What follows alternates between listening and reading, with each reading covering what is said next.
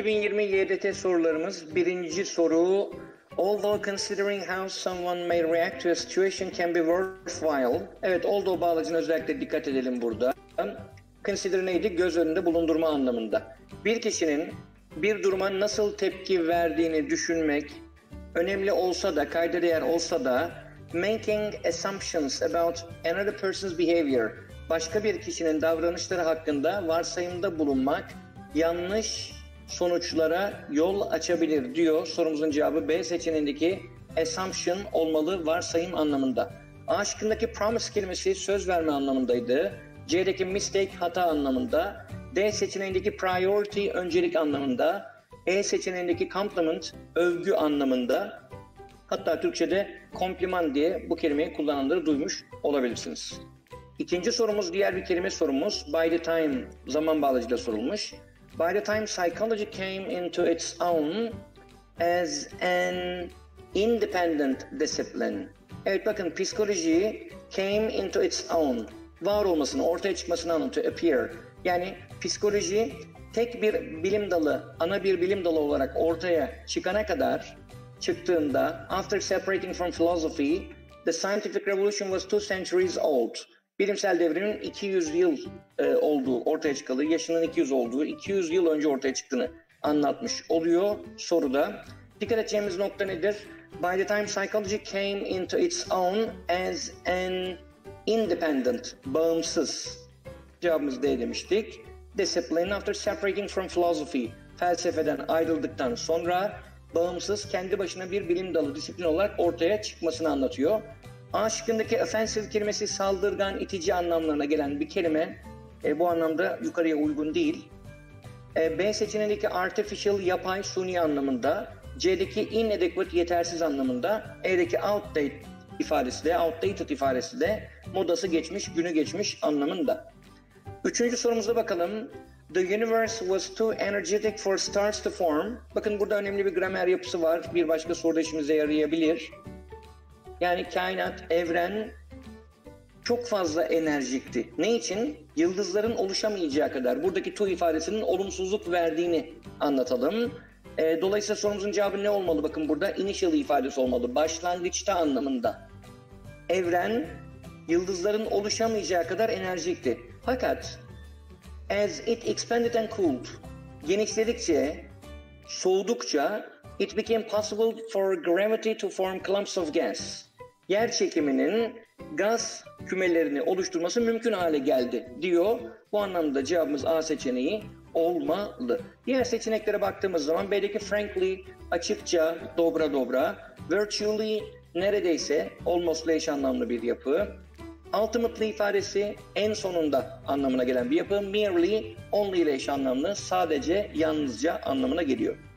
Dördüncü sorumuza bakalım. Mobile learning the, the role of which in education is becoming quite important is often applied to outside classrooms. Bakın mobil learning'den bahsetti, mobil öğrenmeden bahsetti. İki virgül arası ekstra bir bilgi verdi. Yani bunun rolünün eğitimde her geçen gün daha da arttığını. Is becoming quite important. Evet, present continuous tense'le bu anlamda gradual bir increase anlattı. Her geçen gün önemi artıyor dedi. Is often applied outside classrooms dışarıdaki sınıflara, dış sınıflara yani uzaktan diyebiliriz günümüzdeki karşılığıyla belki. Outside classroom'a uygulanır. Niçin? To enhance the learning. Yani burada eğitimi enhance etmek, ilerletmek, arttırmak için. Enhance kelimesi improve, increase kelimesiyle eş anlamlı olarak düşünebileceğimiz bir kelime. Hangi learning? To enhance the learning that takes place inside classrooms. Sınıfın içindeki öğrenmeyi enhance ettirmek için genellikle outside classroom'a uygulanır dedi. Bir diğer nokta burada apply to kullanımında da dikkatinizi çekmek isterim uygulamak anlamında. Apply for kullanımı vardı. O da başvurmak anlamına geliyordu. Diğer seçeneklere göz atalım. B şıkkındaki insist ısrar etme anlamında. C'deki require gerektirme anlamında. D'deki suspect şüphelenme anlamında. E'deki provide da sağlamak anlamında. Beşinci sorumuz. Dünyanın daha zengin kısımlarında bakın kalp hastalıklarının ve felç. Over quarter of deaths in wealthy parts of the world, heart disease and strokes account for, oluşturmak anlamında, meydana getirmek anlamında. Buradaki anlamıyla make-up'la eş anlamlı, make-up'ın oluşturmak anlamıyla. Over quarter of that, yani ölümlerin dörtte birinden fazlasını bu meydana getiriyor dedi. Diğer seçeneklere göz atalım. Rest on ifadesi depend on'la eş anlamlı. Go through içinden geçmek, yaşamak, tecrübe etmek anlamlarında. Bring down aşağı çekme, indirme anlamlarında kullandığımız bir phrasal verb. Stem from da den kaynaklanma anlamında bir phrasal verb'ümüz. Evet, cevabımız account for dedik, oluşturma, meydana getirme anlamında. Gramer bölümüyle devam edelim. Altıncı sorumuz. Bakın, evet diğer sorumuz, gramer sorumuz. Bakın ne diyor sorunun giriş kısmında. In the 19th mile exclusion zone surrounding the Chernobyl power plant in Ukraine, Ukrayna'daki Çernobil nükleer santralinin çevresinde bulunan 19 millik yasak bölge tanımlaması yapıyor. Bakın burada burada inle anlatıyor. Arkadan gelen which ifadesiyle bakın burayı niteliyor. Birinci boşluklara baktığımız zaman bakın şurada bir tarihten 1986 tarihini vermiş bize. Dolayısıyla present perfect olan B seçeneğini rahatlıkla bu bağlamda eleyebiliriz. Şimdi bu bölge e, ilk kısım dolayısıyla ne olmalı? Past bir kurgu olmalı. Yani 1986'daki bu e, nükleer santraldeki sızıntıdan sonra ne oldu? Kontamine olan bir bölge, kirlenen bir bölge burası. Dolayısıyla burada pas bir kurgu kullanmamız gerekir. Bakın ilk kısım pas perfect tense olduğu için E seçeneğini de bu bağlamda eleyebiliriz. Gerçek dışı bir durumu anlattığı için C seçeneğini de eleriz. Hatırlayın have verb 3, could have verb 3 yapılarını genellikle biz if clause'lu yapılarda gerçek dışı durumları anlatırken kullanıyorduk. A şıkkındaki used to ifadesi de geçmiş alışkanlıkları anlatıyor. Yani eskiden böyle olurdu, kontamine olurdu ama artık olmuyor şeklindeki durumlarda karşımıza çıkan bir yapı. Dolayısıyla bu da cevap olarak düşünülemez. Sorumuzun cevabı D seçeneği olmalı. Which was contaminated following the 1986 reactor meltdown Plants and animals. Evet bakın şurada bir ipucumuz var. Boşluktan sonra now. Present kurgu. Dolayısıyla ikinci boşluk present bir kurgu olmalı. Şu an ne yapıyor? Tekrar bunlar canlanıyor diyor. Dolayısıyla sorumuzun cevabı D seçeneği olmalı. Yedinci sorumuz, bakın yine bir e, tense sorusu, modul içerikli tense sorusu. Scientists conducting research to shed light on, evet shed light on aydınlatma anlamında kullandığımız bir yapı. Çeşitli mental bozuklukların olası sebeplerini aydınlatmaya çalışan, e, bu konuda araştırma yürüten bilim insanları A link between lack of normal gut bacteria and brain development chains that boşluk bırakmış arkadan da schizophrenia ifadesini kullanmış. Bakın burada soru kökünde herhangi bir tens kurgusu, zaman ifadesi görebiliyor muyuz? Göremiyoruz. Dolayısıyla böyle bir soruda ağırlıklı olarak biz present öncelikli bakarız. Bakın bu anlamda A seçeneği past perfect bir yapı olduğu için cevap olarak düşünülemez. Niye düşünülemez? Past perfect'i bir cümlede kullanabilmemiz için öncelikle o cümlede past bir kurgu olmalı. O past kurgunun öncesi anlatılmalı ki past perfect cevap olsun. Gelecek ifadesini veren aynı şekilde bakın bir kurgu söz konusu değil. Past kurgu aynı şekilde pastı veren bir yapı söz konusu değil. Zaten D'nin ikinci kısmında have verb 3 kullanılmış. Hem geçmiş bir model hem de hatırlayalım have verb 3 yapılması gereken ama yapılmayan durumları anlatan bir kullanım bu bağlamda aynı şekilde uygun değil. Dolayısıyla biz bu soruda B ve E seçenekleri arasında kalabiliriz birinci boşluğa bakıldığında. İkinci boşluğa baktığımızda ise burada had to cause ifadesi var. Had to yine past bir ifade. Bakın yukarıda tekrar söylüyorum herhangi bir zaman ifadesi, time expression, geçmişi gösteren bir ipucu, kullanılan bir tense yok. Dolayısıyla burada past tense'i kullanmamız gerektirecek bir durum yok. Ayrıca bir de burada modul kullanılmış. Hangi modul? Zorunluluk belirten have to modulu. Yani hem past yok hem de burada zorunluluk yok. Bu anlamda E seçeneğini de. Sorumuzun cevabı B seçeneği olmalı. Have observed link. Yani bir ilişki buldular. Nasıl bir ilişki bakın? That could cause schizophrenia. Yani şizofren hastalığına sebep olabilecek. Peki buradaki could ne anlamda? Geçmişi mi gösteriyor? Hayır. Could'un iki tane kullanım vardı hatırlayalım. Yani birçok kullanım var ama tense bağlamında iki tane mantığımız vardı. Present anlamda possibility ifade eden could, can'in pastı olan ability ifade eden could. Buraya baktığımız zaman present anlamda possibility ifade eden could olduğunu görüyoruz. Cevabımız o yüzden B seçeneği olmalı. 8. soruya baktığımız zaman, bakın 8. soruda burada herhangi bir özne göremiyoruz. As the main shipping route between the Indian and Pacific Oceans. Arkadan geliyor bakın Singapur. Demek ki e, Pasifik Okyanusu'yla Indian Hint Okyanusu arasında bir shipping route görevi gören yer Singapur. Dolayısıyla nasıl bir yapı olacak burası? Aktif mi olacak, pasif mi olacak? Evet, buradaki fiilimiz serve. Yani Singapur bu ikisi arasında bir shipping route görevi görüyor mu? Görülüyor mu yoksa? Görüyor olacak. Yani aktif bir yapı olacak. Singapur bu hem Indian hem de Pacific Oceans arasında bir shipping route görevi görüyor olacağı için pasif olan A, pasif olan B ve pasif olan E seçenekleri cevap olarak düşünülemez. Birinci noktamız bu dikkat edeceğimiz. İkinci nokta, ben birinci kısmı çok bilemiyorum, çıkartamadım diyorsanız şuradan da yaklaşabilirsiniz soruya. Cümlenin sonundaki for years ifadesi var, yıllardır. Hangi tensin ipucudur? Perfect tensin ipucudur. Şıklara baktığımız zaman A, C ve D seçeneklerinde perfect tense'leri görüyoruz. A şıkkında bir problem var ama past perfect tense. Bir past olacak, onun öncesini anlatıyor olacak. Yukarıda bir past kurgu olmadığı için bu anlamda A seçeneği uygun değil. C seçeneğine baktığımız zaman da geleceğe atıfta bulunan bir yapı var burada. Future Perfect Continuous yapısı kullanılmış. Ee, birinci kısmında da to serve. To bu anlamda kullanıldığında ne anlam katıyordu? Make, mak için amaç belirtiyordu. Yani bu şekilde hizmet vermek için. Burada doğru cevabımız ne olmalı? D seçeneği olmalı. Serving. Yani Hint Okyanusu ile Pasifik Okyanusu arasında ana bir e, gemi yolu ulaşım rotası görevi gören Singapur has been attracting traders. Yani ticaret yapan insanları çekiyor. Nereden? Çin'den, Hindistan'dan ve Avrupa'dan. Ne kadar süredir? Yıllardır. Four years. Bu anlamda present perfect tense'in ipucu D şeklinde present perfect continuous tense verilmiş. Dokuzuncu sorumuzla devam edelim. Proposition sorumuz. Evet bakın Recently, the genome of an archaic human female, female a group called the Denisovans. Evet. Şimdi bakın bu soruda birinci boşluğa baktığımız zaman evet net bir ipucu yakalayabiliyor muyuz?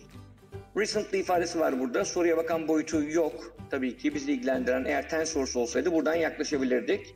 The genome of an archaic human female from a group. Bir gruptan anlamında. Denisov'un adı verilen bir gruptan şeklinde bir anlam katmış oluyor. İkinci boşlukta aynı şekilde has been sequenced, sekanslandı yani dizimi yapıldı. Yeni bir DNA araştırma metoduyla sequence with bu anlamda genel alışık olduğumuz belki preposition sorularından bir tık uzakta bir soru. Ee, biraz daha bilgi isteyen. Diğer seçenekler nasıl acaba baktığımızda? Bakın e, ikinci kısmındaki by A şıkkının yakın durabilir. Yani düşünülebilir. Pasif olduğundan dolayı aklınıza gelebilir ama birinci boşluktaki for bu anlamda yukarıya uygun değil. Olmadığını çıkartabilirsiniz. Yine grup ifadesi evet birinci boşluk için uygun olabilir ama ikinci kısmındaki on ifadesi aynı şekilde uzaklaştırıyor C seçeneğini. D'ye baktığımız zaman among ifadesi yakın gibi dursa da beyond ifadesi ötesinde anlamında yine uygun değil. Towards birinci boşluk, E'nin birinci boşluğu bu anlamda aynı şekilde yukarıya uygun değil. Yani soru kökü biraz daha zor olsa da şıklarla aslında soru biraz dengelenmiş. Bu anlamda cevabımız B olmalı. 10. sorumuza bakalım. Bakın kefirden bahsediyor. Fermente bir e, içecek olduğundan bahsediyor. Kolay sayılabilecek bir soru. Yoğurda benzercek. Similar arkadan neyle kullanıyorduk? To ile kullanıyorduk. Bu anlamda zaten to bir tane seçenekte verilmiş. O da D seçeneği. Is valued for its beneficial facts. Yani mikroplar üzerindeki e, faydalı etkilerinden dolayı değer görüyor, kıymet görüyor diyor. Kefir. Bu anlamda cevabımız D seçeneği olmalı. Value for. Bunu da belirtmiş olalım. 11'e bakalım. Uh, computers may be able to beat us in specific activities. Bilgisayarlar belli aktivitelerde bizi yenebilir, bizi geçebilir. Bakın boşluk bırakılmış. Arkadan bağlaç sorumuz. It will be a long time before we see a robot with human-like versatility. Evet, yani çok uzun süre geçecek diyor. Ee, insan benzeri çok yönlü özellikleri olan bir robotu görmeden önce çok süre geçecek. Yani bunu görene kadar çok süre geçecek. Bunu yapmak çok kolay olmayacak diyor. E nasıl bir ifade var burada? Evet bilgisayarlar bizi belli aktivitelerde yenebilir ama insan kadar çok yönlü olamayacak. Bunun için çok süre geçmesi gerekecek. Bir zıtlık durumu söz konusu. Dolayısıyla burada zıtlık belirten bir tane seçeneğimiz var. O da however, but grubunda yer alan zıtlık belirten bir bağlaç. Diğerleri neydi? neydi? A şıkkına bakalım. Moreover, dahası, üstüne üstlük anlamında, yukarıya uygun değil. Thus, böylece anlamında. Likewise, benzer şekilde anlamında. Instead, yerine anlamında. Aynı şekilde yukarıya uygun değil. 12. sorumuza bakalım. Yine bir bağlaç sorumuz. Bakın, the wheel was invented. Yani tekerlek icat edildi diyor birinci kısımda. Virgülden sonraki kısma bakalım. Humans had devised. Evet buradaki past perfect yapı dikkatimiz çekiyor. Birinci kısımda da bakın was invented past kurgu var. E zaman bağlaçları verilmiş as long as before, whenever gibi. Onun dışında bir de in case ve unless bağlaçları verilmiş. E, sorumuzun cevabı ne olmalı? B seçeneğindeki before olmalı. Tekerlek icat edilmeden önce insanlar ağır nesneleri hareket ettirmek için farklı yollar, çeşitli yollar geliştirmişti diyor. Kolay sayılabilecek bir soru. Ee, evet, diğer bağlaçlara baktığımızda as long as koşuluyla anlamına gelen bir yapı, olduğu sürece anlamına gelen bir yapı, before öncesinde anlamında, whenever her ne zaman anlamı katan bir bağlaç, in case ihtimaline karşı, olması ihtimaline karşı, olması durumunda, unless de if not anlamına gelen bir yapımızdı. Hatırlatmış olalım. 13. sorumuz. Today, no language cevabımız Bursa is completely isolated from other languages. Bugün hiçbir dil tamamen diğer dillerden izole değildir, ayrı değildir. Which means ne, ne, ne anlama gelir bu? Bakın arkadan açıklıyor. Yani şu which'in arkasındaki kısma bakarak ilk kısımda ne söylemeniz gerektiğini daha net anlayabiliyorsunuz. There's a constant contact among all languages.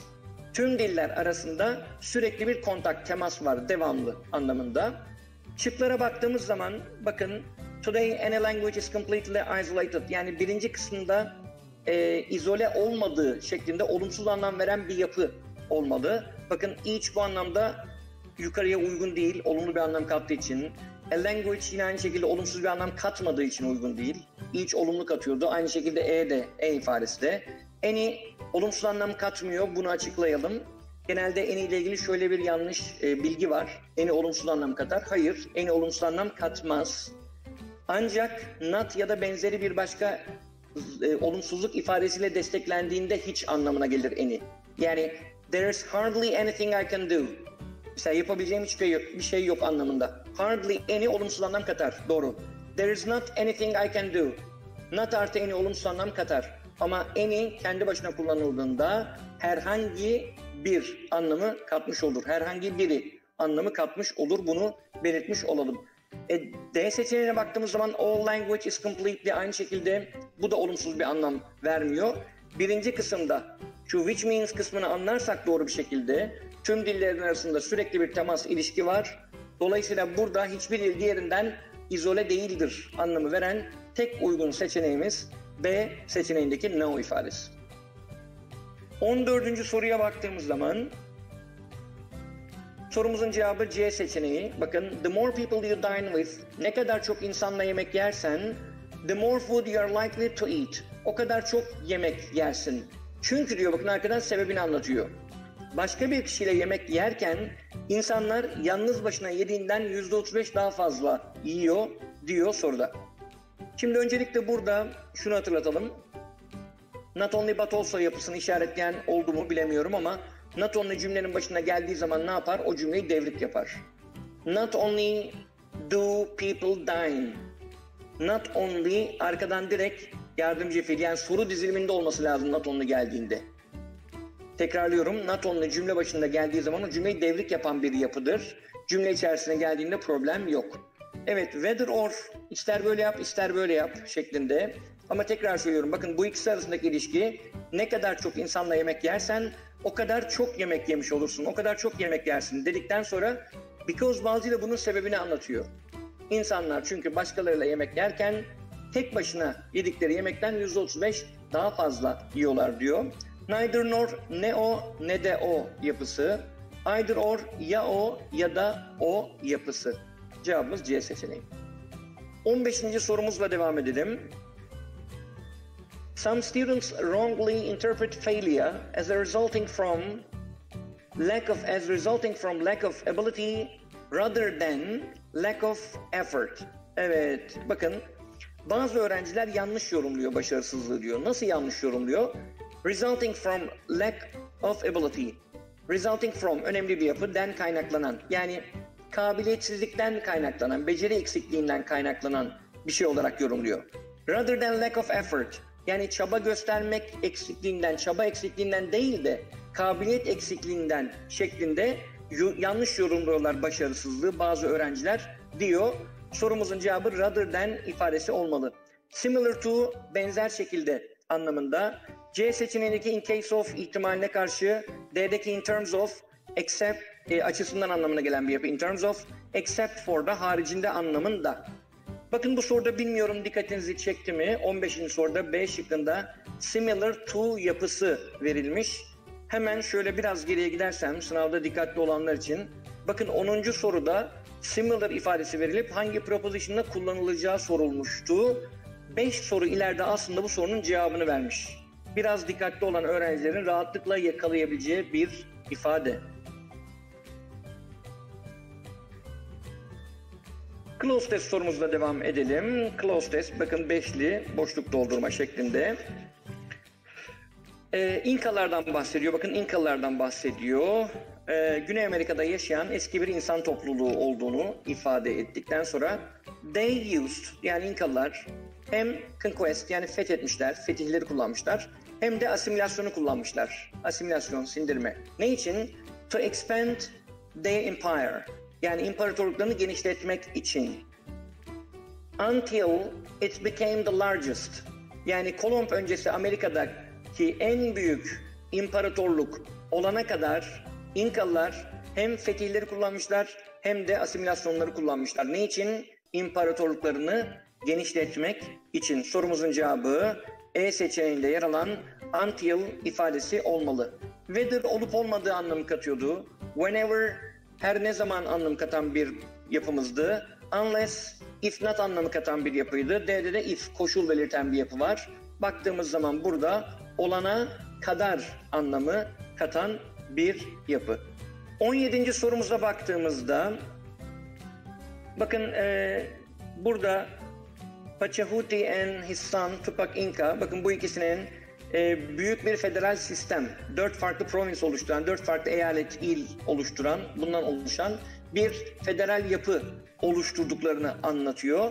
Her biri diyor by. Bakın burada şuraları anlamasanız bile çok önemli bir cevaba tesir eden boyutu tesir eden boyutu var mı? Hayır yok. Neden? Çünkü boşluktan sonra bakın by ifadesi verilmiş. By an Inca governor yani İnkalı bir yönetici tarafından demiş. By bize pasifi gösteriyor. Baktığımız zaman bakın B seçeneği aktif bir yapı. Bu anlamda cevap olamaz. C seçeneğine baktığımız zaman evet C seçeneği aynı şekilde aktif bir yapı. To have been overseen olsaydı pasif olurdu. Bu da aynı şekilde bunu da eleyebiliriz. D seçeneği aynı şekilde aktif bir yapı. E seçeneği aynı şekilde aktif bir yapı. Dolayısıyla e, burada pasif olan bir tane seçenek var. Boşluktan sonraki bayı gören kişi hiç burayı anlamasa bile aslında bu soruyu çok rahat bir şekilde doğru yapabilir. Evet oversee kelime anlamı neydi? Yönetmek anlamında kullanılan bir kelimeydi. Burada pasif olduğu için her biri bir İnka yöneticisi tarafından yönetilen şeklinde. Devam edelim 18. sorumuzda. Machu Picchu is the best preserved. Evet, settlement olmalı değil mi? Yerleşim. Settlement. Sorumuzun cevabı. Ee, devamına baktığımız zaman bakın ipucu var mı orada? Is the best preserved settlement of the Inca civilization. Inca medeniyetinin en iyi muhafaza edilmiş yerleşimidir diyor. Occupation meslek anlamında kullandığımız bir ifade. Ayrıca işgal anlamına gelen bir kelime. Requirement gereksinim anlamında kullandığımız bir kelime. Destruction yok etme, yok olma anlamında kullanılan bir kelime. Cultivation da yetiştirme anlamında kullandığımız bir kelime. Cevabımız B dedik 18. sorumuz için. 19. soruya bakalım. 19. soruda e, bakın burada Machu Picchu'dan bahsetti. It is today a fine example of architecture and planning. Evet günümüz için nasıl bir örnek? Güzel bir mimari ve planlama örneği dedi. Bakın anahtar kelime a fine example. Evet. Arkasından da being abandoned in the 16th century. 16. yüzyılda abandon edilmiş, terk edilmiş bir yer burası. Dolayısıyla iki cümle arasında nasıl bir ilişki var diye baktığımızda zıtlık ilişkisi var. Sorumuzun cevabı 19'da A seçeneği olmalı. Despite yani 16. yüzyılda terk edilmiş olmasına rağmen günümüzde güzel bir mimari ve planlama örneği diyor. Rather than yerine anlamında, den ziyade anlamına gelen bir bağlaç. Az önce de yukarıda cevap olarak karşımıza çıkmıştı. In case of ihtimaline karşı, in addition to ek olarak yanı sıra anlamında, in terms of açısından anlamında. Devam edelim son buradaki soru close test bölümündeki. E, Machu Picchu was very important. Evet çok önemliydi. Kim için? For the Inca people. İnkalılar için kolay sayılabilecek bir soru. İçin anlamında klasik bir kullanım. E, for burada preposition olarak sorulmuş. İnkalılar için önemliydi diyor. 21. sorumuz cümle tamamlama sorumuz. Although classical music is claimed to improve children's intelligence. Bakın dikkat edeceğimiz burada bu sorularda özellikle bağlaçlar, klasik müziğin çocukların zekasını geliştirdiği iddia edilse de iddia edilmesine karşın şimdi öncelikle burada klasik müzikle ilgili pozitif bir yorum yapılıyor çocukların zekasını geliştirdiği yönünde. Dolayısıyla arka taraftan gelen ifade bunun tersi olmalı. Yani boşlukta bunun tersini ifade eden bir cümle bulmamız gerekiyor. Seçeneklere baktığımız zaman bakın E seçeneğinden başlayalım. It's usually enough for parents to rely on classical music alone. Yani sadece bu anlamda klasik müziğe bağlı kalmaları yeterli diyor. Klasik müzik yeterli olur diyor çocukların kognitif yani bilişsel gelişimleri için. E burada da olumlu, burada da olumlu. Oldu o bağlacını E karşıladı mı? Hayır karşılamadı. D'ye baktığımız zaman parents may not overlook the possibility to enhance the cognitive ability of their children. Anne babalar çocuklarının kognitif yani bilişsel kabiliyetlerini ilerletme olasılığını göz ardı etmeyebilirler, edemezler diyor buradaki ifadede. D seçeneğinde belki bir durabiliriz. Yine konuyla bağlantılı may not bir olumsuzluk var. Daha sonrasında bakabiliriz. C seçeneğine baktığımız zaman klasik müzik çalmanın, bebeklere klasik müzik çalmanın onların yetişme sürecinde daha smarter, daha akıllı olmalarını sağlayacağını e, ifade ediyor. Bu anlamda yine pozitif bir ifade. B'ye baktığımız zaman yine klasik müziği doğumdan hemen sonra çocukları dinletmenin bakın better şeklinde bir yorum yapıyor. Bu şekilde vaktin iyi değerlendirildiğini ifade ediyor. Yine olumlu bir ifade olduğu karşılamıyor. A'ya baktığımız zamansa A'da da there may not be a correlation between intelligence and appreciation for classical music. Yani klasik müzikle e, klasik müziği algılamakla, anlamakla zeka arasında bir korelasyon, bir bağıntı olmayabilir diyor A seçeneğinde. Dolayısıyla burada A ve D seçenekleri arasında kalırız. E, özne bağlamında baktığımız zaman burada direkt olarak soru kökünde klasik müzik üzerinden gittiği için yani klasik müziğin çocukların zekasını geliştirdiği iddia edilse de klasik müzik anlamayla zeka arasında bir korelasyon olmayabilir anlamında A seçeneği doğru cevabımız. D'ye baktığımız zaman tekrar anne babalar çocuklarının cognitive ability, bakın enhanced cognitive ability yani onların bilişsel becerilerini arttırma olasılığını göz ardı etmeyebilirler diyor. Burada klasik müzikle alakalı spesifik bir şey söylemiyor. Daha genel bir ifade bu anlamda. Sorumuzun cevabı A seçeneği olmalı. 22. soruda bağlaca yine aynı şekilde dikkat. Cümle tamamlama sorularında anahtar bir noktaydı unutmayalım. Çünkü bağlaç burada cevabı direkt tesir ediyor. Because bağlacıyla anlatıyor. Yani bunu ne yapıyor? Because bağlacı arkadan gelen ifadeyi sebep yapar. Because people usually do not want to participate in surveys. İnsanlar genellikle araştırmalara katılmak istemedikleri için some researchers offer participants a motivational reward to complete a survey. Sorumuzun cevabı A seçeneği olmalı. İnsanlar araştırmalara katılmak istemedikleri için genellikle bazı araştırmacılar katılımcılara anket doldurmaları, araştırma sorularını cevaplamaları için motivasyon e, olması adına bazı ödüller sunarlar, verirler, teklif ederler diyor. Diğer seçeneklere göz attığımızda A lot of companies rely on consumer surveys to improve their products. Evet bakın bilgi doğru olabilir, konu da bağlantılı olabilir. Fakat yukarıda bakın because bağlacıyla anlatıyor. İnsanlar genellikle katılmak istemediklerinden, katılmak istemedikleri için mi şirketler tüketicilerine survey yaparlar, tüketici surveyleri yaparlar? E bunlar da katılmıyor o zaman. Because bağlacıyla bir sebep sonuç ilişkisi bu anlamda kurmuyor B seçeneği. C'ye baktığımız zaman e, klasik bir araştırma deseninde data toplamanın data analizinden sonra gerçekleştiğini ifade ediyor. Data collection is followed by data analysis. Yani Önce data toplanır sonra data analiz yapılır. Yukarıda tamamen farklı bir şeyden bahsediyor. Bu çok daha genel ve tipik bir araştırma yöntemi sürecini anlatan bir yaklaşım. D'ye baktığımız zaman data science is becoming more and more appealing to scientists and business people alike. Yine bakın çok genel bir ifade yapıyor burada. Aynı şekilde yukarıya uygun değil çok spesifik bir e, soru kökü yönlendirmesi var ve because balcı var. Surveys have long remained a popular tool for collecting information from people. Anketler uzunca bir süredir insanlardan bilgi toplamak için popüler bir araçtır diyor. Aynı şekilde bakın ifade doğru olsa da bilgi doğru olsa da yukarıdaki because bağlacı ile bağlanan ifadenin devamı olamaz E seçeneği. 23. soruyla devam ediyorum. 23. soruda bakın when a prey animal or an unsuspecting human approaches yani bir av hayvanı ya da bakın unsuspecting human yani masum bir insan yaklaştığında the cells of the bug's jellyfish are triggered instantly and delivers toxins. Yani bakın ne yapar? E, bu anlamda jellyfish'in hücreleri direkt olarak trigger yani tetiklenir, harekete geçer birden ve ne yapar onlar? Toksin yani zehir e, salar, release diyelim bu anlamda.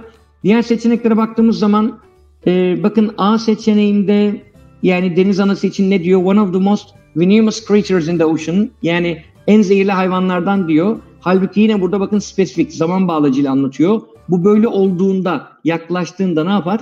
Kendini koruma güdüsüyle belki de hemen bir toksin delivery yapar. Yani önce trigger harekete geçer, tetiğe geçer, tetiklenir ve sonra toksin salgılar diyor. B seçeneğine baktığımız zaman bulunduğu yeri anlatıyor, yaşadığı lokasyonu anlatıyor. Yine genel bir bilgi veriyor. C'de ismini aldığı yeri anlatıyor. Bakın gets its name yine konudan uzak.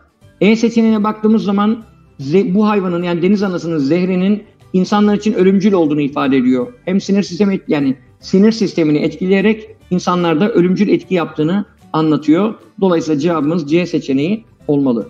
24. sorumuz yine ez bağlacına dikkat.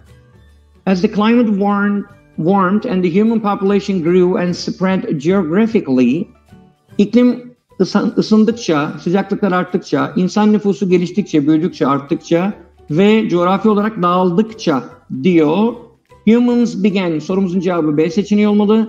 Humans began to develop the first civilized human settlements. İnsanlar ilk medeni insan yerleşimlerini ne yaptılar? Oluşturmaya, geliştirmeye başladılar diyor. Yukarıdaki ez bağlacı yine bizim için önemli. Yaptıkça, ettikçe.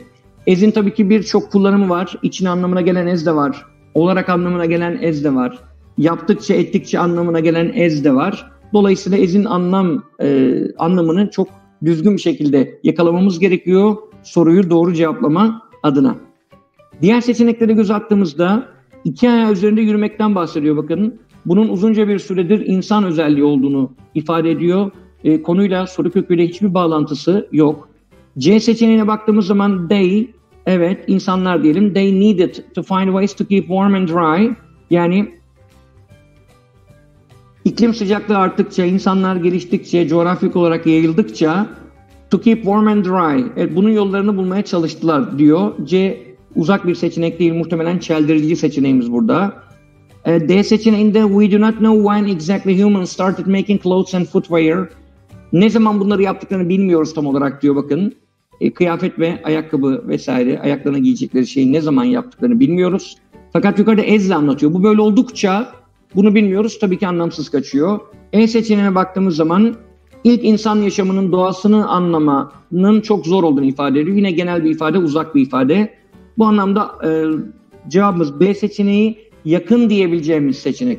C seçeneği evet sadece warm and dry ifadesiyle burada e, kurgulamış. C seçeneğini evet doğru ama kısmen doğru. B çok daha kapsayıcı bir seçenek olduğu için bu anlamda cevap olarak düşünüyoruz. 25. soruya bakalım. The rearing of livestock has brought great wealth to Uruguay. Yani hayvan yetiştirmenin Uruguay'a çok ciddi zenginlik getirdiğini ifade ediyor. Yine bakın burada bağlaçlara dikkat edeceğiz ama diğer sorulardan farklı olarak dikkatinizi çekmiştir. Burada bağlaçlar şıklarda verilmiş. Dolayısıyla her bir şıktaki bağlaç bizim için çok ama çok önemli. Bakalım. A seçeneğine even if kullanılmış. Bakın A seçeneğinde zıttık bağlacı. Yani birçok farmı olan, birçok çiftliği olan büyük bir şehir büyük bir şehir olarak, city olarak tanımlansa da diyor. Şimdi bakın tabii bir ülkeden bahsediyoruz. City bu anlamda oturmuyor. Birinci nokta. İki, e, burada olumlu bir şeyden bahsediyor. Ciddi bir zenginlik kaynağı olduğunu anlatıyor. A seçeneğinde de birçok farmı olan büyük bir şehir diyor. Yine bir olumlu yapı. E, dolayısıyla even if burada oturuyor mu? Hayır oturmuyor. Bu anlamda A seçeneğini düşünemeyiz. B'ye bakalım. Her ne kadar son zamanlarda turizm ve bankacılık da milli gelire katkı yapsa da hayvan yetiştirme Uruguay'a ciddi bir zenginlik getirmekte getiriyor diyor. Sorumuzun cevabı B seçeneği olmalı. Zıtlık hangi bağlamda? Evet turizm ve bankacılık da önemli rol oynuyor ama ana nokta burada livestock yani hayvan yetiştiriciliği. Rearing of livestock. C'ye baktığımız zaman başkent Montevideo'nun e, bir buçuk milyonlu en büyük şehir olduğunu ifade ediyor. Yine bakın yukarıdaki bağ, soru köküyle bağlantılı değil, nüfusla bağlantılı bir durum yok ve ez bağlacıyla bağlamış. Yani burası bu kadar nüfusa sahip olduğu için böyle bir ilişki yok. Ve zıtlık bağlacıydı. Dünyanın her yerine hayvan ürünleri export etmesine rağmen karşın yani export ihracattı. Şimdi zenginlik getiriyor, export yapıyor. O zaman burada verez bağlacında problem var. Bakın bağlacının ne kadar önemli olduğunu bir kez daha burada görüyoruz. E seçeneğine bakalım. As long as the population of livestock outnumbers the human population. As long as olduğu sürece ya da koşuluyla anlamına gelen bir yapıydı. Yani hayvan nüfusu insan nüfusundan sayıca üstün olduğu sürece ya da üstün olması koşuluyla gibi iki şekilde de değerlendirebiliriz. Aynı şekilde yukarıya uygun değil. Diğer sorumuz 26. sorumuz. Obez insanların ortalama kiloya sahip insanlardan daha fazla yemek yediklerini anlatıyor soru kökü. Yine burada bağlaçlara dikkat edeceğiz. Bakın A'da but, B'de does, C'de therefore, D'de yet, E'de because bağlacı. Bakın bu anlamda zıtlık belirten iki tane bağlacımız var. But ve yet ifadesi. Bunlara bakalım isterseniz önce. But research shows that gaining weight can be almost as difficult as losing it. Obezler normal e, kiloya sahip insanlardan daha fazla yiyorlar fakat araştırma neyi gösteriyor? Kilo almanın kilo vermek kadar zor olduğunu. Bağlantılı mı? Hayır bağlantılı değil. Diğer zıtlık ifadesine bakalım. They often believe that, yet they often believe that they eat less than others. Evet sorumuzun cevabı D seçeneği. Obezler ortalama kiloya sahip insanlardan daha fazla yerler fakat genellikle diğerlerinden daha az yediklerine inanırlar diyor buradaki ifadede. B seçeneğine baktığımız zaman does ve therefore bakın B ve C'deki bağlaç mantığı aynı. Her ikisi de arkasından sonuç cümlesinin geldiği bağlaçlar. Obezlerin e, daha az yemek yediğini fakat daha fazla kalori aldığını ifade ediyor. Bu anlamda bakın sebep sonuç ilişkisi yok yukarıyla. Yani yukarıdaki cümle sebep, dasın arkası sonuç gibi olur. Böyle bir sebep sonuç ilişkisinden bahsedemeyiz. C'ye baktığımız zaman e, insanların metabolizmasındaki bireysel farklılıkların bazılarının daha fazla kalori yakmasına neden olduğunu ifade ediyor. E, obezler daha fazla yer dedi bu yüzden bireysel farklılıklardan dolayı daha fazla kalori yakılır. Hayır yine aynı şekilde daha hızlı kalori yakılır pardon. E, bu anlamda bir sebep sonuç ilişkisi yine aynı şekilde söz konusu değil. E'ye baktığımız zaman çoğu aşırı kilolu insanın daha az fiziksel aktivite yapmasını anlatıyor because bağlacıda. O zaman şöyle çeviririz bunu. Çoğu kilolu insan daha az fiziksel aktivite yaptıkları için obezler ortalama kiloya sahip insanlardan daha fazla yerler. Böyle bir sebep sonuç ilişkisi aynı şekilde yok. Bu anlamda da E seçeneğini eleyebiliriz. 27. sorumuza bakalım. Amerikan Marshall Planı'nın Avusturya ekonomisini bu anlamda hızlı bir başlangıç, bakın jump start, hızlı bir başlangıca itmeye yardımcı olduğunu, hızlı bir başlangıç yapmasına yardımcı olduğunu ifade ediyor. Ki bu yapılan işin de laying the foundation güzel bir ifade, ülkenin günümüzdeki zenginliğinin temellerini attığını ifade ediyor. Evet seçeneklere baktığımız zaman yine bağlaçları göz ardı etmememiz gerekiyor. Regardless of, as though, because, although ve despite. Bakın ne diyor seçeneklerde. E, A seçeneğinde Viyana'nın yani başkent Viyana'nın e, Tuna Nehri'ndeki Roman kampı döneminde, Roma ordusunun kampı döneminde, Roman Army'nin kamp yaptığı dönemdeki Humble Origins, mütevazi kökeninden bahsediyor. Şimdi burada şehrin tarihiyle ilgili vesaire bir yorum yapıyor. Önde kullandığı bağlaç regardless of, buna bakmaksızın diyor. E, Amerika Marshall Planı'nın Avusturya ekonomisinin bu anlamda yardımcı olduğunu, destek olduğunu anlatıyor. A bu anlamda bağlantılı değil. B seçeneğine baktığımız zaman liderleri uluslararası yardım, finansal yardım istemişler gibi, mış gibi ezdo. Yine uzak bir seçenek. C seçeneğine baktığımız zaman because bazıyla sebep yapıyor. Zamanında kimse Avusturya'nın 2. Dünya Savaşı'ndan sonra uluslararası bir yardım alacağını düşünmediğini ifade ediyor. Bunu düşünmediği için Marshall Planı diyor. Yani burada yine sebep sonuç ilişkisi yok. E, Denizli seçeneğine baktığımız zaman yönetimini anlatıyor. Yakın zamana kadar iktidarın, hükümetin iki tane politik parti tarafından yönetildiğini anlatıyor.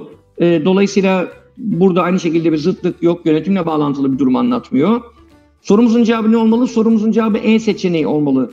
Despite the damage from the Second World War and several famines in the late 1940s, İkinci Dünya Savaşı'nda gördükleri zarar ve 1940'lı yılların sonundaki birkaç açlık kıtlığa rağmen Amerikan Marshall Planı helped to jump start yani ne yapmaya yardımcı oldu? Avusturya ekonomisinin sıçrama yapmasına yardımcı oldu ki bu da günümüz ülkenin günümüzdeki zenginliğinin temellerini oluşturdu diyor. Cevabımız E seçeneği olmalı. Despite sıtlık bağlacı Şuradaki jump start olumlu bir ifade. Arka taraftan zaten bu olumlu ifadeyi günümüz present day prosperity ifadesiyle destekliyor. Cevabımız E seçeneği olmalı. 28'e bakalım. The underlying cause of dyslexia yani disleksiya hastalığının altındaki yatan sebep which is a learning disability. Evet bakın disleksiyanın ne olduğunu burada iki virgül arası ekstra bilgi olarak verdi. Bir öğrenme güçlüğü olan disleksiyanın altında yatan sebep is not known bilinmiyor dedi. Yine bağlaçlara dikkat edeceğiz. Bakın as bağlacı, there is bağlacı, while, even though, so. Evet, bu bağlamda ele alacağız. Yani biz burada A şıkkına bakarken as hangi anlamda? Because anlamında olabilir, yaptıkça ettikçe anlamında olabilir. Reading, spelling, writing gibi bu, bu alanlarda problemlerle özdeşleştiriliyor diyor. Özellikleri bunlar olduğu için diyor. E, bu olduğu için mi sebep bilinmiyor? Hayır. Deriz dediği yani it results from'den kaynaklanıyor. Neden? E, grafik sembolleri e, yorumlayamadığını, proses edemediğini anlatıyor. Yine aynı şekilde bakın bu da result from sebebi üzerine bir yorum yapıyor. Bundan kaynaklanır diyor. That is neydi? Önceki söylenen cümleyle arkadan gelen cümlede söylenen şeyin aynı olması durumunda kullandığımız bir bağlaçtı. Uygun değil. C'ye baktığımız zaman disleksiya rahatsızlığı olan çocukların genellikle D harfiyle B harfini karıştırdıklarını ifade ediyor ve bunu while bağlacıyla anlatıyor. Yine aynı şekilde yukarıya uygun değil. Even though research suggests the condition is often inherited. Sorumuzun cevabı D seçeneği. Yani araştırmalar neyi öngörüyor, neyi ileri sürüyor, neyi ortaya koyuyor? The condition dediği evet disleksiyadan bahsediyor. Disleksiyanın genellikle inherit yani kalıtım yoluyla geçtiğini ortaya koysa da disleksiyanın altında yatan sebep bilinmiyor diyor. Evet burada bir bilgi var. Burada bilinmemesini anlatıyor. E, dolayısıyla even though bağlacı da buraya oturmuş oluyor. Cevabımız D seçeneği. E'ye baktığımız zaman bu rahatsızlığı olan çoğu çocuğun normal zekaya sahip olduğunu anlatıyor E seçeneğinde de. Bu anlamda e, so bağlacı ile aynı şekilde ilişkilendirmemiz mümkün değil. Çünkü önceki cümle sebep, arkadan gelen cümlede sonuç olamaz. Bu anlamda yukarıya uygun değil. Evet, metin sorularına geldik. Metin sorularımıza devam edelim. Bakın metin sorularında öncelikle ilk cümlemizi okuyalım. Metin ne diyor bakalım. En azından bir fikrimiz olur. Topic sentence bizim için önemli. İnsanlar genellikle e, hayvanları, cansız objeleri, nesneleri e, ve yakın zamanda ölmüş insanları gördüklerini bildirirler, ifade ederler diyor. Devamında bakın bunların ghost, angel, işte hayalet, melek vesaire olduğunu söyler. Bazıları daha karmaşık durumlardan falan bahseder. Sonra da bunlara bakın ne ad verildiğini anlatıyor. Halüsinasyon adı verildiğini anlatıyor. Knownness ifadesiyle. 29. sorumuza bakalım. Ondan sonra metni biraz daha detaylı inceleyebiliriz. Metne göre biological psychologists yani biyolojik psikologlar claim that cevabımız B seçeneği olmalı. Claim that hallucinations may occur due to some physical or chemical problems in the brain. Halüsinasyonlar neden dolayı ortaya çıkabilir? Beyindeki bazı fiziksel ve kimyasal problemlerden dolayı ortaya çıkabilir diyor. Yukarıda bakın metinde bunu nerede söylüyor? Bunu görmeye çalışalım.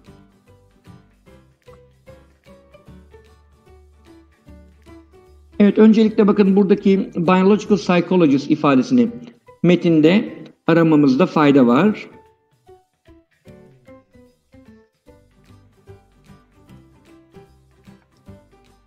Evet, bakın biological psychologist ne üzerine odaklanıyor? Focus on the causes, sebepler üzerine odaklanıyor. Evet, halüsinasyon ne olarak görüyor bunlar?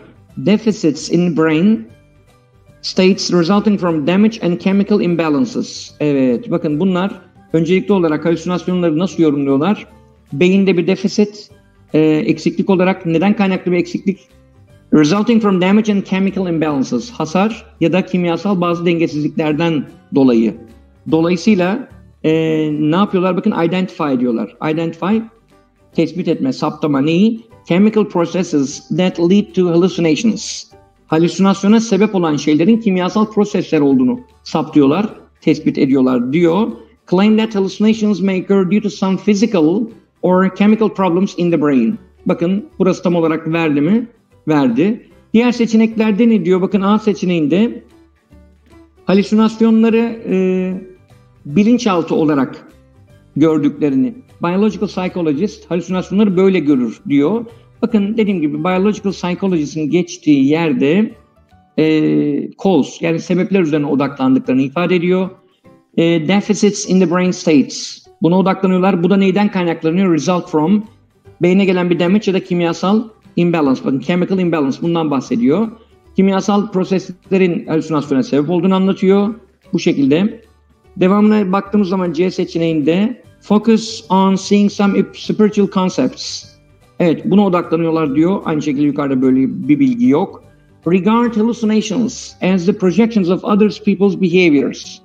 Bakın diğer insanların davranışı evet geçiyor metinde tabii ki bu ama e, biological psychologist'in öncesinde geçiyor. Yani cognitive psychologist, bilişsel psikologlar bu şekilde yaklaşıyor. Dolayısıyla o da değil. E seçeneğine baktığımız zaman evet e, biological psychologists treat hallucinations by nasıl tedavi ediyorlar halüsinasyonları? By giving specific comments to an individual experiencing a hallucination. Halüsinasyon gören kişilere belli komentler vererek diyor. Bu anlamda aynı şekilde yukarıya uygun değil. Cevabımız B seçeneği olmalı. 30. sorumuza bakalım. 30. sorumuzda halüsinasyonla ilgili hangisi doğrudur diyor. Sor, doğru cevabımız E seçeneği. Despite finding out about the chemical processes involved in hallucinations, biological psychologists do not know why individuals hallucinate in specific ways. Şimdi önemli bir nokta bu. Niye önemli bir nokta? Bakın despite bağlacıyla burada bir ilişkilendirilmiş cümle zıtlık bağlamında. İlk kısımda diyor ki e, bakın kim bu bulanlar? Biological psychologist. Yani biyolojik psikologlar e,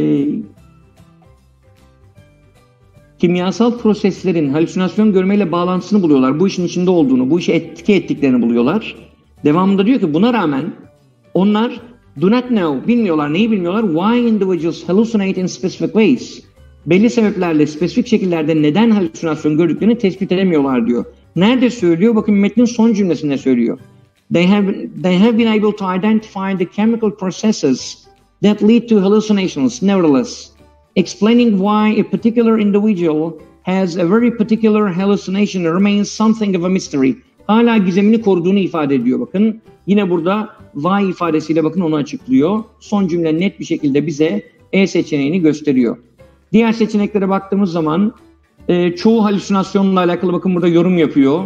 Evet bazı halüsinasyon türlerinde bahsetmişti. E, B seçeneğine baktığımız zaman Freudianlar yani Freud'un görüşünü savunanların en detaylı açıklama yaptığını ifade ediyor. Halüsinasyonun sebebiyle alakalı. Sebep kısmına dikkat. Çünkü e, Freud yaklaşımını, Freud'un yaklaşımını benimseyenler halüsinasyonları unconscious wishes or wants yani bilinçaltı isteklerin dışa vurma olarak görüyorlar. Reason bu bağlamda doğru değil. C'ye baktığımız zaman kognitif psikologlar ve Freud, Freud'un görüşünü savunanlar halüsinasyonla alakalı birçok perspektife, birçok bakış açısını paylaşıyorlar. Ortak şeyler düşünüyorlar diyorlar. Halbuki yukarıda bu anlamda farklı olduğunu, Freud'da subconscious'ın önemli olduğunu ifade etmişti. Diğerlerinde bakın mesela cognitive psychologist'te metacognition e, yani başkalarının davranışını anlamaya yönelik olan metacognition üzerinde durmuştu. Bu anlamda farklı yaklaşımlar var. D seçeneğine baktığımız zaman Freud'un görüşünü savunanlar neyi reddediyorlar? Halüsinasyonların bir kişinin bilinçli olma haliyle hissiyatları hakkında olduğunu, düşünceleri, hissiyatları hakkında olduğunu fikrini reddediyorlar diyor. E, halbuki burada feeling noktasına girdiğimiz zaman bakın e, hallucination is actually something they felt. Evet, hissettikleri bir şey olduğunu anlatıyor. Bu anlamda D seçeneğinin doğru olmadığını bu cümleden yakalayabiliriz. 31. sorumuza baktığımız zaman dikkatimizi çekmesi gereken nokta mainly ifadesi. What is the passage mainly about? Bu metin başlıca ne hakkında? Yani bu ne demek? Bazı şıklar metinle alakalı bir bilgi verebilir bize, yakın olabilir ama mainly en kapsayıcı, en kuşatıcı başlık hangisinde? Doğru cevabımız B seçeneği olmalı. Psychological approaches. Evet, psychological approaches to the causes of hallucinations. Yani halüsinasyonun sebeplerine yönelik psikolojik yaklaşımlar. Evet bakın yukarıda öncelikle hallucination yani halüsinasyonun ne olduğunu anlattı. Ondan sonra buna e, Freud'un görüşünü savunanların nasıl yaklaştığını anlattı. Kognitif bakış açısını anlattı. E, alt tarafta da metnin son bölümünde de bir başka boyuta geçti. Biological psychologist bir başka bakış açısına geçti. Onların bakış açısını anlattı. Tam olarak bu metin Psychological Approach to the Causes of Hallucinations diyebiliriz. Evet tarihinden bahsetmiyor. CD tiplerinden bahsetmiyor. Halüsinasyonun e, psikolojik ve fizyolojik etkilerinden bahsetmiyor. Aynı şekilde kognitif processing ve halüsinasyon sürecini, kognitif işlem ve halüsinasyon sürecini anlatmıyor. Mainly, evet bunların bazılarından metinde geçiyor olabilir ama mainly ifadesine özellikle dikkat. Bu da bize B seçeneğini gösteriyor. Diğer metnimiz bakın İsveç'ten bahseden bir metin. Hemen giriş cümlesine bakalım topic sentence'a. Sweden is Europe's fifth largest country. Evet, bakın giriş kısmında bir bilgi veriyor. İsveç Avrupa'nın en büyük beşinci ülkesi diyor ki büyüklüğü Kaliforniya'nın büyüklüğüne denk. Yani yaklaşık olarak diyor. About the size of. Kaliforniya'nın büyüklüğüyle Avrupa'nın beşinci büyük ülkesi olan İsveç'in büyüklüğü neredeyse aynı diyor. Evet, şıkkımıza bakalım, daha doğrusu soru köküne bakalım 32'den. Ondan sonra metni gerekirse daha detaylı inceleyelim. Aşağıda İsveç'le ilgili verilen statement ifadelerden hangisi doğrudur diye bir soru sormuş. Bakın A seçeneğinde hızlı okuyanların yanlış yapabileceği bir şey konmuş. Sweden's five times larger than California. Ee, İsveç, Kaliforniya'nın 5 katı kadar daha büyük dedi. Hayır. İsveç Avrupa'nın 5. büyük ülkesi. Yaklaşık olarak Kaliforniya ile aynı büyüklüğe sahip. Bu anlamda A cevap değil. A very small portion of the country is used, is used for agriculture. Ülkenin çok az bir kısmı tarım için e, kullanılıyor diyor. Bakalım tarımla ilgili bilgi nerede veriyor? Evet bakın şurada yakaladık. Only 7% of Sweden's area is cultivated farmland.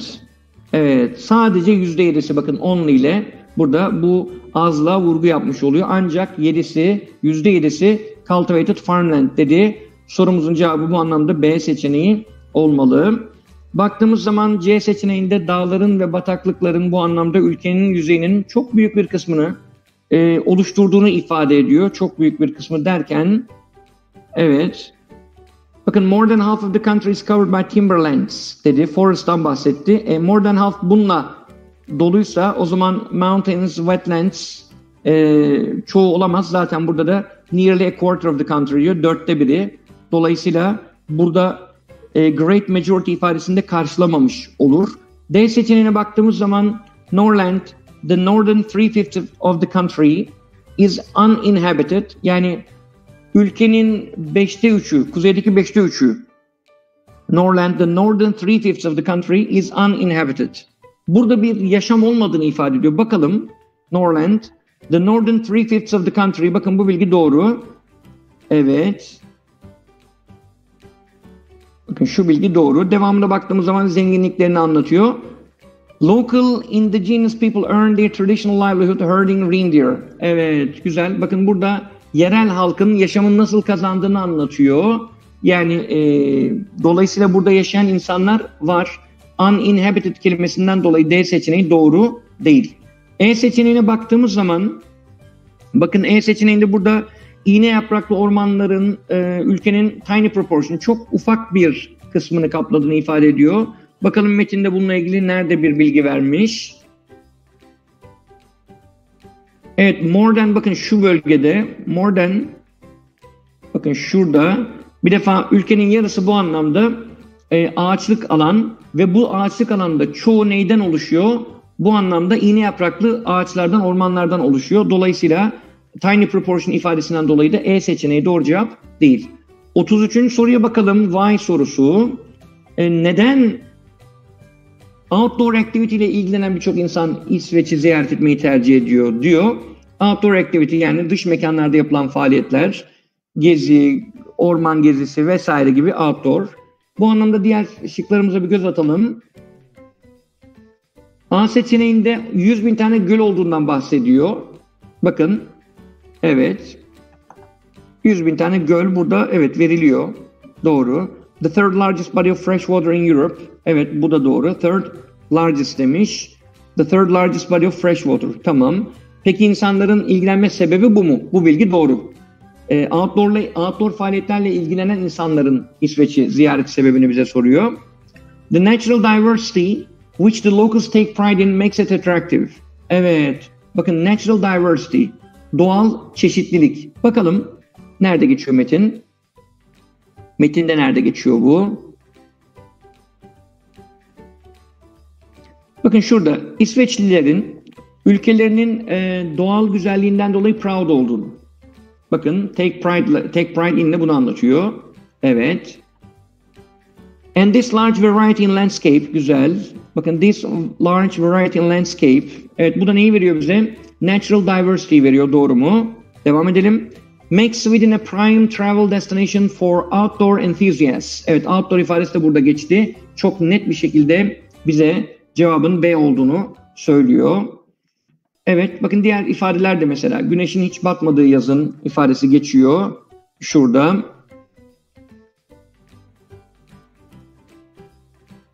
The sun never sets ifadesi geçiyor. Summertime ile ilgili mi söylüyor tabii ki bunu. Evet. Yani bakın bu bilgiler metnin içerisinde geçiyor ama bunun sebebini çok net bir şekilde az önce işaretlediğim yerde verdi. Sorumuzun cevabı 33'te B olmalı. 34'e bakalım. Infer sorusu, çıkarım sorusu. Norland'in e, yerel, lokal, yerli insanlarıyla, yerli nüfusuyla ilgili metinden ne çıkarım yapılabilir? Evet. Ne çıkarım yapılabilir? Bakın bu insanlarla ilgili. They lead a pastoral life in the rural area of the country. In the rural area of the country. Ülkenin kırsal bir bölgesinde pastoral bir yaşam sürüyorlar. Doğal bir yaşam sürüyorlar bunlar.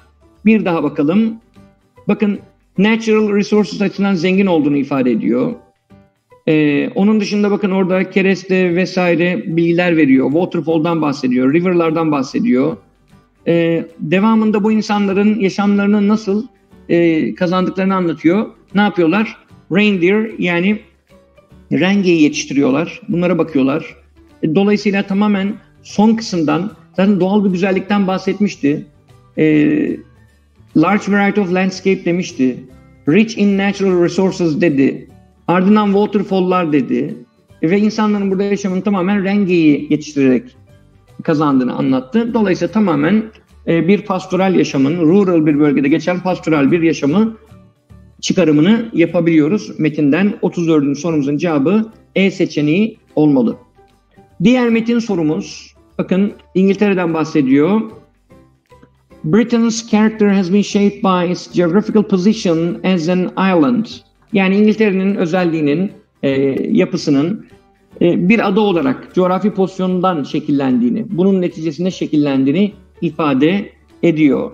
1066 yılında işgal edildikten ya da işte fethedildi, alındıktan sonra orada yaşayan insanların kendilerine özgü distinctive traditions, distinctive, ayırt edici, diğerlerinden kendilerini farklı kılan gelenekler, görenekler bu anlamda e, geliştirdiklerini ifade ediyor. Ve delight in their non-conformity, evet conform uymak, non-conformity uymamak. Yani kendilerine özgü, her şeyi diğerlerinden belki farklı yaparak kendilerine özgü bir sistem geliştirdiklerini ve bundan keyif aldıklarını ifade ediyor. Ee, onların bakın bu mirasının eski kalelerde, katedrallerde ve bunun dışarısında bunun yanı sıra bakın e, diğer o ihtişamlı evlerde içinde park olan, bahçe olan state homes, ihtişamlı evlerde görünebildiğini söylüyor.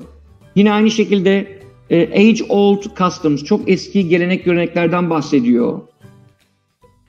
E, ufak bir ada olmasına rağmen e, orada yaşayan insanların distinct identity, farklı farklı kimliklere sahip olduğunu ifade ediyor. Scotland ve Wales'i örneklen, örnekliyor burada. İskoçya ve Galler'i örnekliyor. Kendi legislative assemblies var diyor bakın bu ülkelerin. Kendi yasama organları yani parlamentoları var diyor. Kendi dilleri var diyor. Gaelic language diyor. Kendilerine özgü unique tradition, gelenekleri var diyor. E, arazinin de bu anlamda farklı olduğunu anlatıyor. Bakın Mountains of Wales. Devamında bakın burada geniş sahillerden bahsediyor. E, yani bir bölgenin Rocky dağlık olduğunu, kayalık olduğunu, öbür tarafın e, çok geniş beachlere sahip olduğunu ifade ediyor. Bakın East'i anlatırken öbür tarafta West'e geçiyor. Zıtlıklar üzerinde duruyor. Ee, devam ediyor. Rural Britain yaşamın, e, Rural British yaşamın hala var olduğunu anlatıyor. Yani hatta Rural Britain, kırsal İngiltere'nin yani biraz daha o dokunulmamış e, Britanya'nın hala var olduğunu anlatıyor burada. Devamında bakın farmlar charming villas olduğundan bahsediyor. Çok güzel bakın e, harika görünüşe sahip cottage'lar, evler olduğunu ifade ediyor. Çok güzel bahçeler olduğunu anlatıyor. Onun dışında en çok nüfusun olduğu yerin e, London'a yakın olan bölge olduğunu anlatıyor. South East dediği kısım yani London'a yakın olan yer diyor. Burada modern ofis binaları var vesaire. Yüksek teknoloji hizmet veren endüstriler var vesaire şeklinde metninde İngiltere'yi bu şekilde anlatıyor. 35. soruya bakalım. The ancient castles, cathedrals and stately homes in Britain are an example of Evet bu eski kaleler, katedraller ve ihtişamlı, görkemli evler İngiltere'deki bu saydıklarımız are an example of neyin e, göstergesidir? Zengin bir kültürel geçmişin göstergesidir. Sorumuzun cevabı A seçeneği olmalı. 36'ya baktığımız zaman metinde bir they kelimesi geçiyor altı çizili. Bakın e, neye refer eder diyor, neyi karşılamış. Bir önceki cümleye baktığımız zaman Scotland and Wales diyor. İngiltere'den ayrı olduğunu söylüyor. They also have. Ayrıca kendi Gaelic dilleri ve kendilerine özgü traditionları da var diyor. Dolayısıyla Scotland and Wales. 36. sorumuzun cevabı D seçeneği olmalı.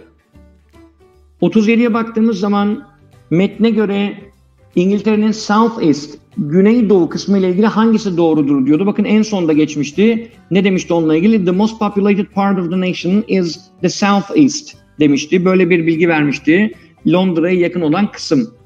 Ee, devamında ne dedi? Burada ofis binaları var dedi. High Tech Industries bu bölgede de dedi. 37. sorumuzun cevabı E seçeneği olmalı. The growth of service and high tech industries bakın tam olarak aynı kelimelerle anlatmış. The growth of service and high tech industries is reflected. Evet bakın burada mirror kelimesiyle is reflected diye vermiş. By the contemporary architecture of the area. Contemporary architecture dediği de modern ofis binalarını kastediyor. Cevabımız E seçeneği olmalı. Evet, diğer metin sorumuz e, dinozorlardan bahseden bir soru. Bakın ne diyor? Genel bir common misconception, yanlış algı var. Bundan etkilenen filmler ne gibi? Jurassic Park gibi filmler. Dinozorları böyle çok kaba, tough, leathery, derisi olan, deri gibi, e, rhino'ya benzeyen, gergedana benzeyen bir deriye sahip hayvan olarak gösteriyor diyor. Fakat e, ne ispatlanmış? Birçok dinozor türünün feathered olduğu, yani tüylü olduğu e, ispatlanmış. Devamına bakalım. Bakın devamında ne diyor? E, burada bir dinozor türünden bahsediyor bakın. Anchiornis dediği bir türden bahsediyor. Bir grup bilim insanı bunun fosilleşmiş kalıntılarını, kuş büyüklüğünde olan bu dinozor türünün fosilleşmiş kalıntılarını analiz ediyor. Ki bu e, dinozor türü yaklaşık olarak 160 milyon yıl önce yaşamış. E, bu türün, bakın de specimen dediği, yukarıda bahsettiği Anchiornis türü, bu türün özellikle çok iyi korunmuş e, feather, tüyleri olduğunu ifade ediyor. Fosilleşme sürecinde bile özelliklerini kaybetmemiş bu tüyler. Vücudunu kapladığını ifade ediyor. E, v şeklinde olduğunu, soft olduğunu ifade ediyor. Bakın bu tüylerle ilgili bilgi veriyor. Uzunluğunun yaklaşık 1 ila 2 santimetre civarında olduğunu anlatıyor. Devamında e, bu hayvanın ekstra e, uçuş için ekstra kanat e, tüylere ihtiyacı olduğunu ifade ediyor. Çünkü bir kuşunki gibi bir arada olmadığını tüllerin ifade ediyor. Yine aynı şekilde devamında. E, fosilleşmiş olan tüylerin özellikle de yorumlanmasının zor olduğunu bilim insanları için. E, çünkü onlar e, feather pigmentten elde edilen tüylerden yani diğerleri kadar korunmadığını anlatıyor. Bakın az önce yukarıda e, bir kısmının fosilleşmeden önce ayrıldığını ifade etmişti. Bir kısmının ise fosilleşme sonucunda daha zor üzerinde yorum yapmanın, onlara dayalı yorum yapmanın daha zor olduğunu ifade etti. O yüzden bakın bunun sonucunda da ne ortaya koyuyor? Dinozorun bir görselini ortaya koymanın çok zor olduğunu e, fakat bilimsel ortaya çıkan verilere dayalı bununla çalışma yapan araştırmacıların ortaya koydukları doğrultusunda came up with bakın ileri sürme, iddia etme anlamında yani ortaya koyma anlamında şu ana kadarki en net dinozor tanımını, tasvirini ortaya koyduğunu ifade ediyor bu anlamda son kısımda. Evet, metin biraz sıkıcı ve yorucu bir metin olarak gelebilir. Dinozorlar vesaire çok ilginizi çekmiyor olabilir. Ama biz sorularımıza bakalım, e, cevaba nasıl ulaşacağız? Bakın ne demiş burada soru kökünde? Dinozorların derisiyle ilgili yorum yapmış. Ne olacak cevabımız? Sorumuzun cevabı A seçeneği olacak. Dinozorların derisinin genellikle leg feathers yani tüylü olmadığına inanılıyor. Fakat aslında birçok dinozor türünde bunların var olduğunu söylüyor. Bunlar dediği nedir burada? Feathers'e refer ediyor. Şuradaki feathers'e refer etmiş oluyor. Tüylere refer ediyor. Bakalım nerede söylemişti? Bakın misconception, common mis misconception dedi. Yanlış algı. Nedir o? E, tough, leathery, rhino-like skin. Fakat bakın bugüne kadar böyle Jurassic Park filmlerinde de dahil dinozorlar böyle tasvir edildi, böyle betimlendi. Fakat birçok dinozor türünün feathered yani tüylü olduğu ortaya kondu diyor. Prove kelimesiyle hatta ispatlandı şeklinde ifade ediyor. Dolayısıyla sorumuzun cevabı 38'de A olmalı. 39. sorumuza bakalım. E, metinde değinilen bu Anchiornis e, türünün kalıntıları were in good condition in terms of the feather details it had. Evet, in terms of açısından. Yani sahip olduğu tüyler, tüy detayları hakkında açısından özür diliyorum. Tüy detayları açısından iyi durumdaydı diyor. Nerede söylüyor bakın az önce bakmıştık. Ee, bakın Anchiornis dedikten sonra the specimen bu tür artık ile burada definite article yapıyor. The specimen has particularly well preserved feather details. Evet, well preserved feather details. Tüyleri çok iyi muhafaza edilmiş. Dolayısıyla 39. soruda cevabımız A seçeneği olmalı.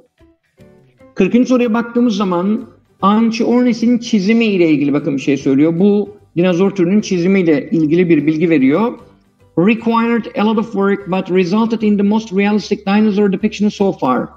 Evet bakın burada sol kısmından sonra diyor ki e, dinozoru resmetmek oldukça zordu. Fakat araştırmacılar e, Scientific Illustrator'la çok yakın çalıştılar ve en net dinozor betimlemesinin tasvirini yaptılar diyor.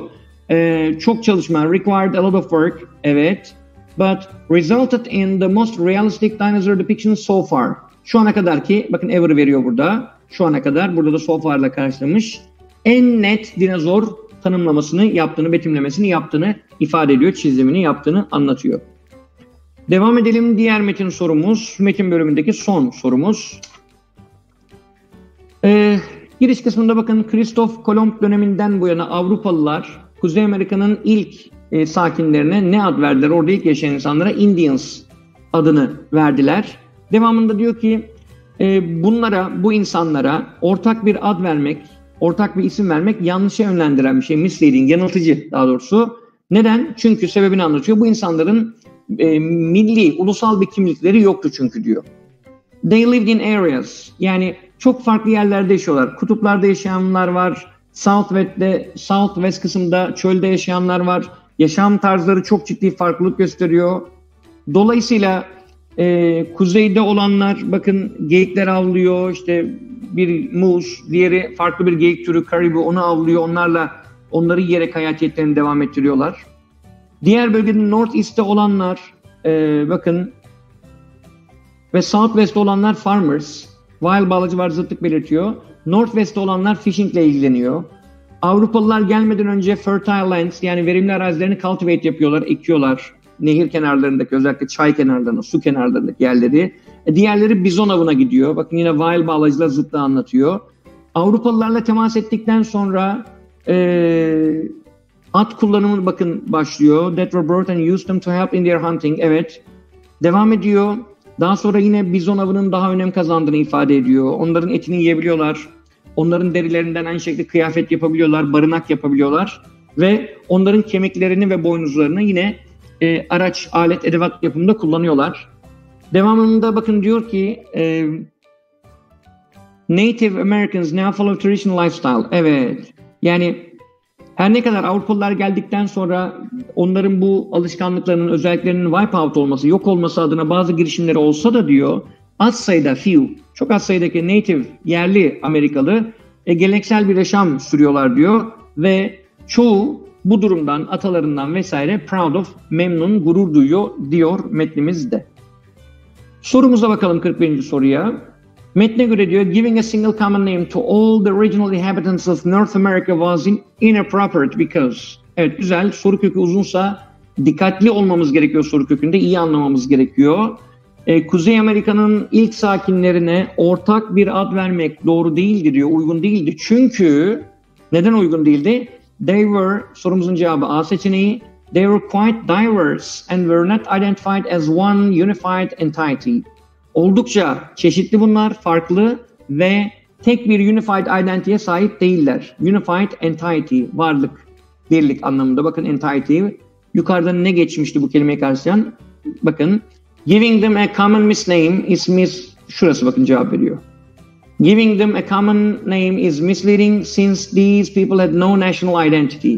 Evet bakın burada national identity ifadesini e, unified entity'ye sahip değiller diye ifade etmiş not'la ve diverse ile vermiş. 41. sorumuzun cevabı bu anlamda A seçeneği olmalı. Zaten arkasından da e, bakın şuradaki diverse kelimeleriyle tamamen yaşam tarzlarının farklılıklarını, beslenmelerindeki farklılıkları vesaire bunları anlatıyor. Bunların üzerinde duruyor. 42. soruya baktığımız zaman e, Kuzey Amerikalı tribe'larla alakalı bu kabilelerle ilgili hangisi doğrudur diyor. Uh, the Cree lived in the north and hunted moose and caribou. Bakın sorumuzun cevabı B seçeneği olmalı. Evet. Bakın şurada veriyor bilgiyi. Şu cümleden yakalayabiliriz. In the north, kuzeyde, the Cree hunted moose and caribou. Direkt olarak bize B seçeneğini verdi mi? Verdi. Sorumuzun cevabı B olmalı bu bağlamda. Evet, reading'deki bu anlamda son sorumuz infer sorusu. Dikkat etmemiz gerekir infer sorularına. Infer, deduce, imply, conclude sorularına kelimelerine özellikle dikkat etmemiz lazım soru kökünde karşımıza çıktığında. Neden? Çünkü bu ifadeler anlam çıkarma, çıkarım yapma e, anlamı veriyor bize. Dolayısıyla metnin bütününden yakalamamız daha e, sağlıklı olacaktır. Due to European interference, Avrupa müdahalesinden dolayı diyor bakın. Bu ifade bizim önemli. Sebep olarak bunu söylemiş. Buna ait bir çıkarım istiyor bizden. Plains Indians became more successful hunters of bison. Evet bakalım. Avrupalıların müdahalesinden, karışmasından dolayı diyor. Nerede geçiyor bu metin?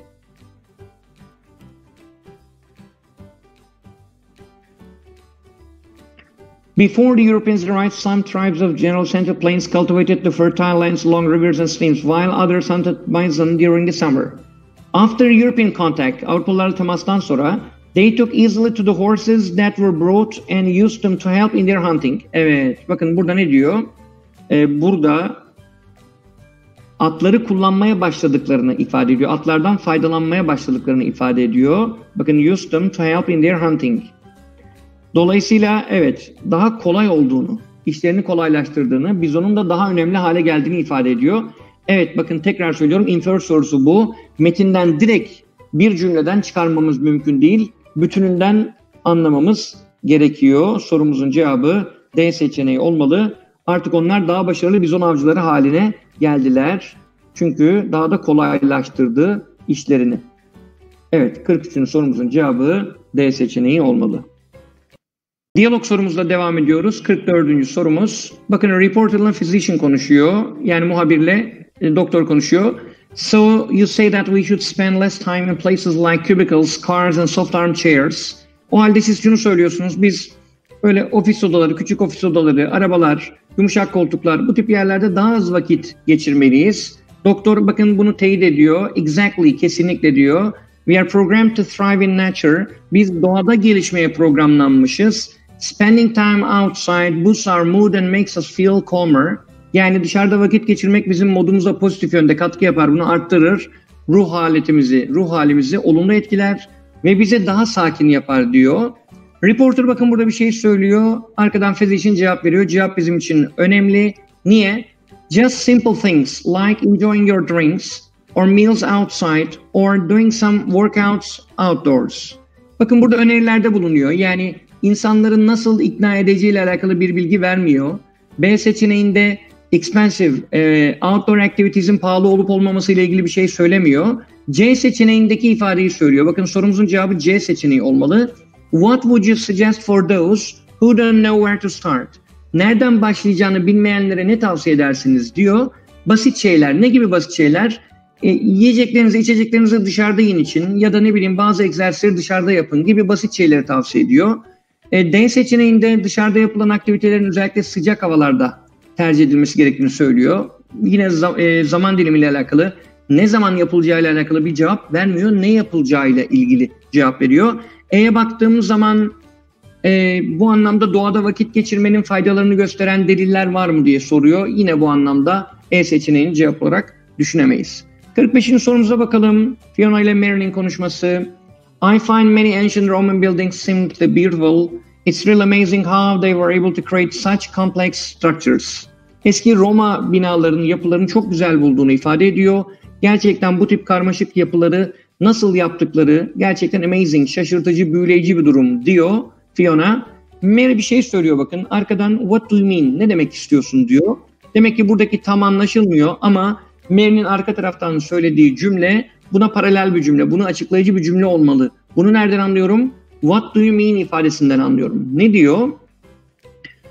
It was in ancient Greece, bakın ancient Greece that classical architecture emerged. Klasik mimarinin ortaya çıktığı yer olarak eski Yunan'ı söylüyor.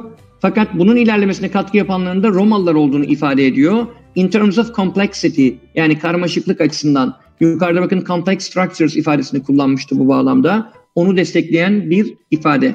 Sorumuzun cevabı ne olmalı? E seçeneği olmalı. I guess you should thank both the Greeks and Romans for the elaborate Roman constructions. Yani bu en ince ayrıntısına, en ince detayına kadar düşünülmüş Roma yapılarıyla ilgili hem Yunanlılara hem de Romalılara teşekkür etmen gerektiğini düşünüyorum diyor. O da diyor ki ne demek istiyorsun? Gerekçesinin sebebini bakın burada gayet net açıklıyor. Yani classical architecture'ın ortaya çıktığı, klasik mimarın ortaya çıktığı yer ancient Greece. Fakat bunun gelişimini sağlayanlar kompleks açısından Romalılar. Bu yüzden sorumuzun cevabı E seçeneği olmalı. Diğer bir sorumuz bakın Anne Labort'in konuşması. You are reading a lot these days. Bugünlerde çok okuyorsun diyor. And not really. Aslında o kadar da okumuyorum. Sadece son birkaç hafta içinde iki tane kitap okudum diyor. Olay şu ne zaman sen gelsen uğrasan beni okurken görüyorsun diyor. Happen to kalıbı arkadan fiilin bakın birinci haliyle kullanılan e, eylemin arkadan gelen fiilin tesadüfen yapıldığını anlatan bir yapı. Beni okurken görüyorsun, bana okurken denk geliyorsun anlamında. Bakın Anne burada bir şey söylüyor. Diyor ki that's more than I can do. Bu benim yapabileceğimden fazlası. Yani ne demişti? I have just read two books in the last couple of weeks. Son birkaç haftada iki tane kitap okudum. Benim yapabileceğimden fazlası. Ben ne zaman kitap okumaya başlasam bırakmak için iyi bir sebep buluyorum diyor. Boris de bir öneride bulunuyor kendisine. Diyor ki neden e, ayda bir kitap gibi böyle kendi bir hedef koymuyorsun? Neden bir sınırlama, limit yapmıyorsun? İyi fikir diyor. Bu anlamda bir zaman limiti koymak beni okumaya motive edebilir şeklinde cevap veriyor N. Sorumuzun cevabı E seçeneği olmalı.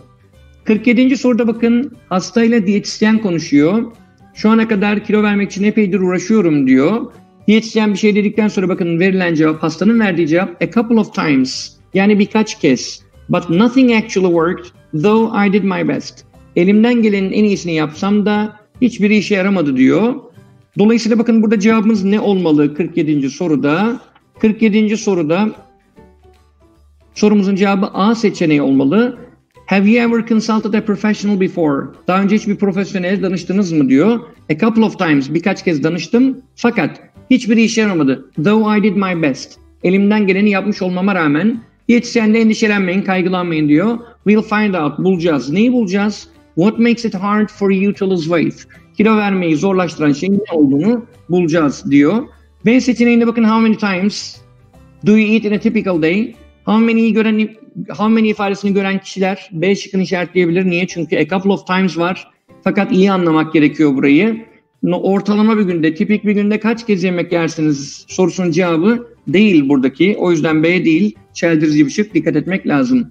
What kind of diet? Ne tür bir beslenme? Ne tür diyetler denedin şu ana kadar? Evet buradaki anlamı diyet yani kilo verme anlamında beslenme değil. Şu ana kadar ne tür diyetler denedin? How often do you eat junk food? Yine bakın çeldirici bir şık olabilir. Ne sıklıkla e, abur cubur yiyorsun diye soruyor. How long have you been on this particular diet? Burada da süreyi soruyor bu anlamda. Sorumuzun cevabı A seçeneği olmalı. Diğer sorumuz 48. sorumuz. Bakın diyalog bölümünün son sorusu. Where did your idea of package delivery using unmanned flying vehicles, drones come from? Yani insansız uçan araçlar kullanarak e, bir paketi taşıma fikri e, nereden geldi? Yani dronlarla taşıma fikri nereden geldi diye soruyor. Hayatım boyunca bakın e, kim konuşuyor? Yine e, röportaj yapan kile antreprenör yani girişimci kişi konuşuyor. Tüm yaşamım boyunca havacılık konusunda çok istekliyim, arzuluyum diyor. Aynı zamanda birkaç yıl önce e, şirketim bu anlamda bu hedefi gerçekleştirmek için, bu hedefin peşinden gitmek için pursue e, teknolojinin yeterince geliştiğini ifade ediyor. Buradaki mature enough ifadesi de bunu karşılıyor. Bunu dedikten sonra bakın interior bir şey söylüyor ve girişimci diyor ki One is the capability to operate safely and independently without crashing into anything or anyone. Her neyse bakın bu one bir tanesi sorduğu sorunun cevap olarak yaptığı operasyonu güvenli ve bağımsız bir şekilde yapabilme kapasitesi hiçbir yere çarpmadan ya da hiçbir kimseye çarpmadan şeklinde sorumuzun cevabı ne olmalı? D seçeneği olmalı. What are some of the technical improvements you want to achieve to enhance the drone delivery system? Drone'la sevkiyat yapma, drone'la bir e, kargolama sistemi. Bunu geliştirmek için başarmak istediğiniz technical teknik gelişmeler neler diye soruyor. Bakın one, bunlardan bir tanesi zamir olarak kullanıyor. The capability to operate safely and independently without crashing into anything or anyone. Dolayısıyla sorumuzun cevabı D seçeneği olmalı. A seçeneğine baktığımız zaman what do you think can you do to make drone delivery economically more competitive?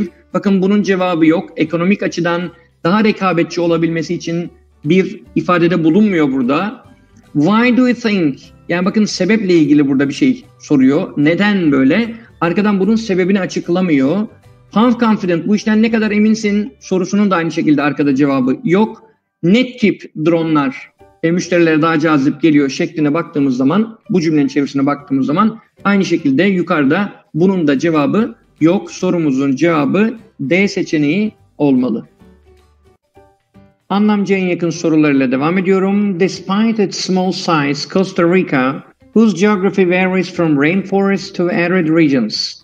Bakın Costa Rica'nın küçük e, alanına rağmen, büyüklüğünün çok fazla olmamasına rağmen ki coğrafyasının bakın varies from to kalıbı kullanılmış burada. Yağmur ormanlarından tutun da çu, kurak, çorak bölgelere kadar değişen coğrafyası dünyadaki en yoğun biodiversity canlı çeşitliliğine ev sahipliği yapmaktadır diyor soru kökünde. Şimdi şıkları incelediğimiz zaman bakın mesela buradaki the most intense ifadesi aşağıda yakalamamız gereken bir ifade, süperlatif bir ifade karşılığı olmak durumunda.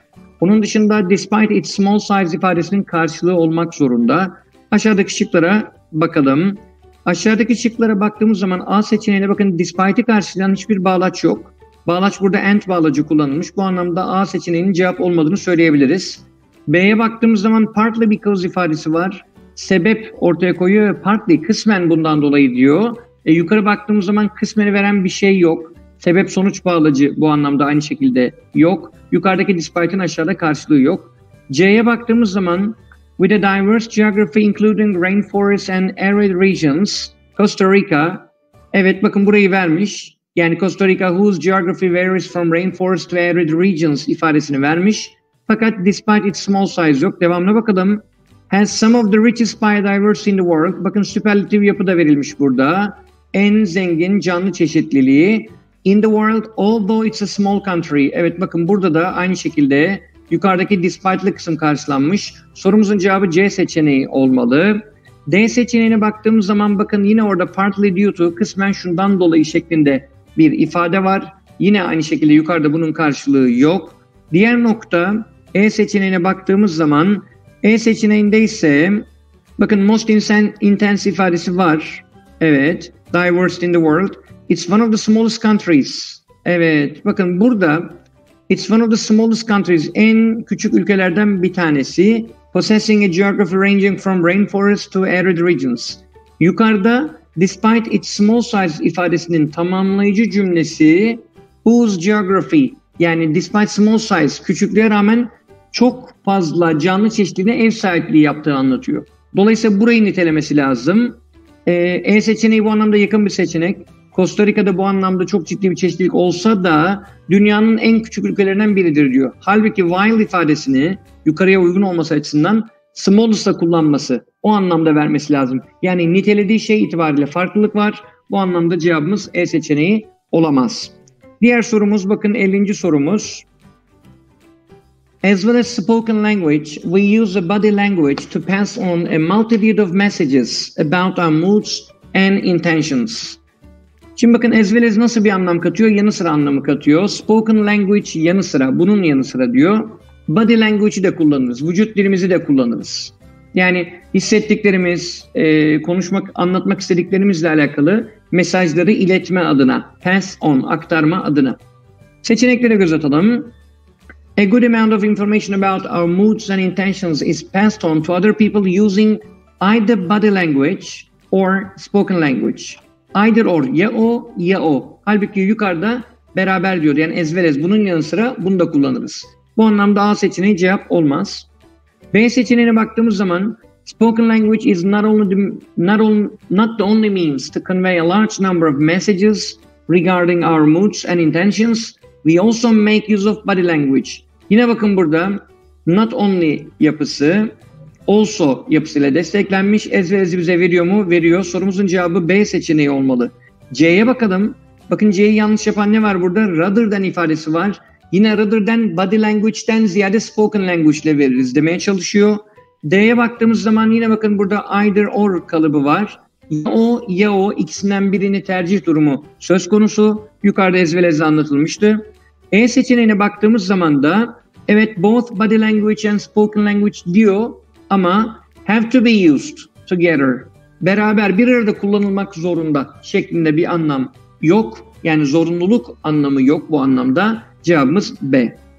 51. soruya baktığımız zaman Few inventions have had a, a more immediate or lasting impact on world history than the railroad demiş ve virgülden sonra da railroad'u tanımlamış. Çok az icat tarihte demir yolunun yaptığından daha hızlı, doğrudan bir etki ve daha kalıcı bir etki yapmıştır diyor soru kökünde. Şıklara bakalım. Bakın A seçeneği the railroad dedi.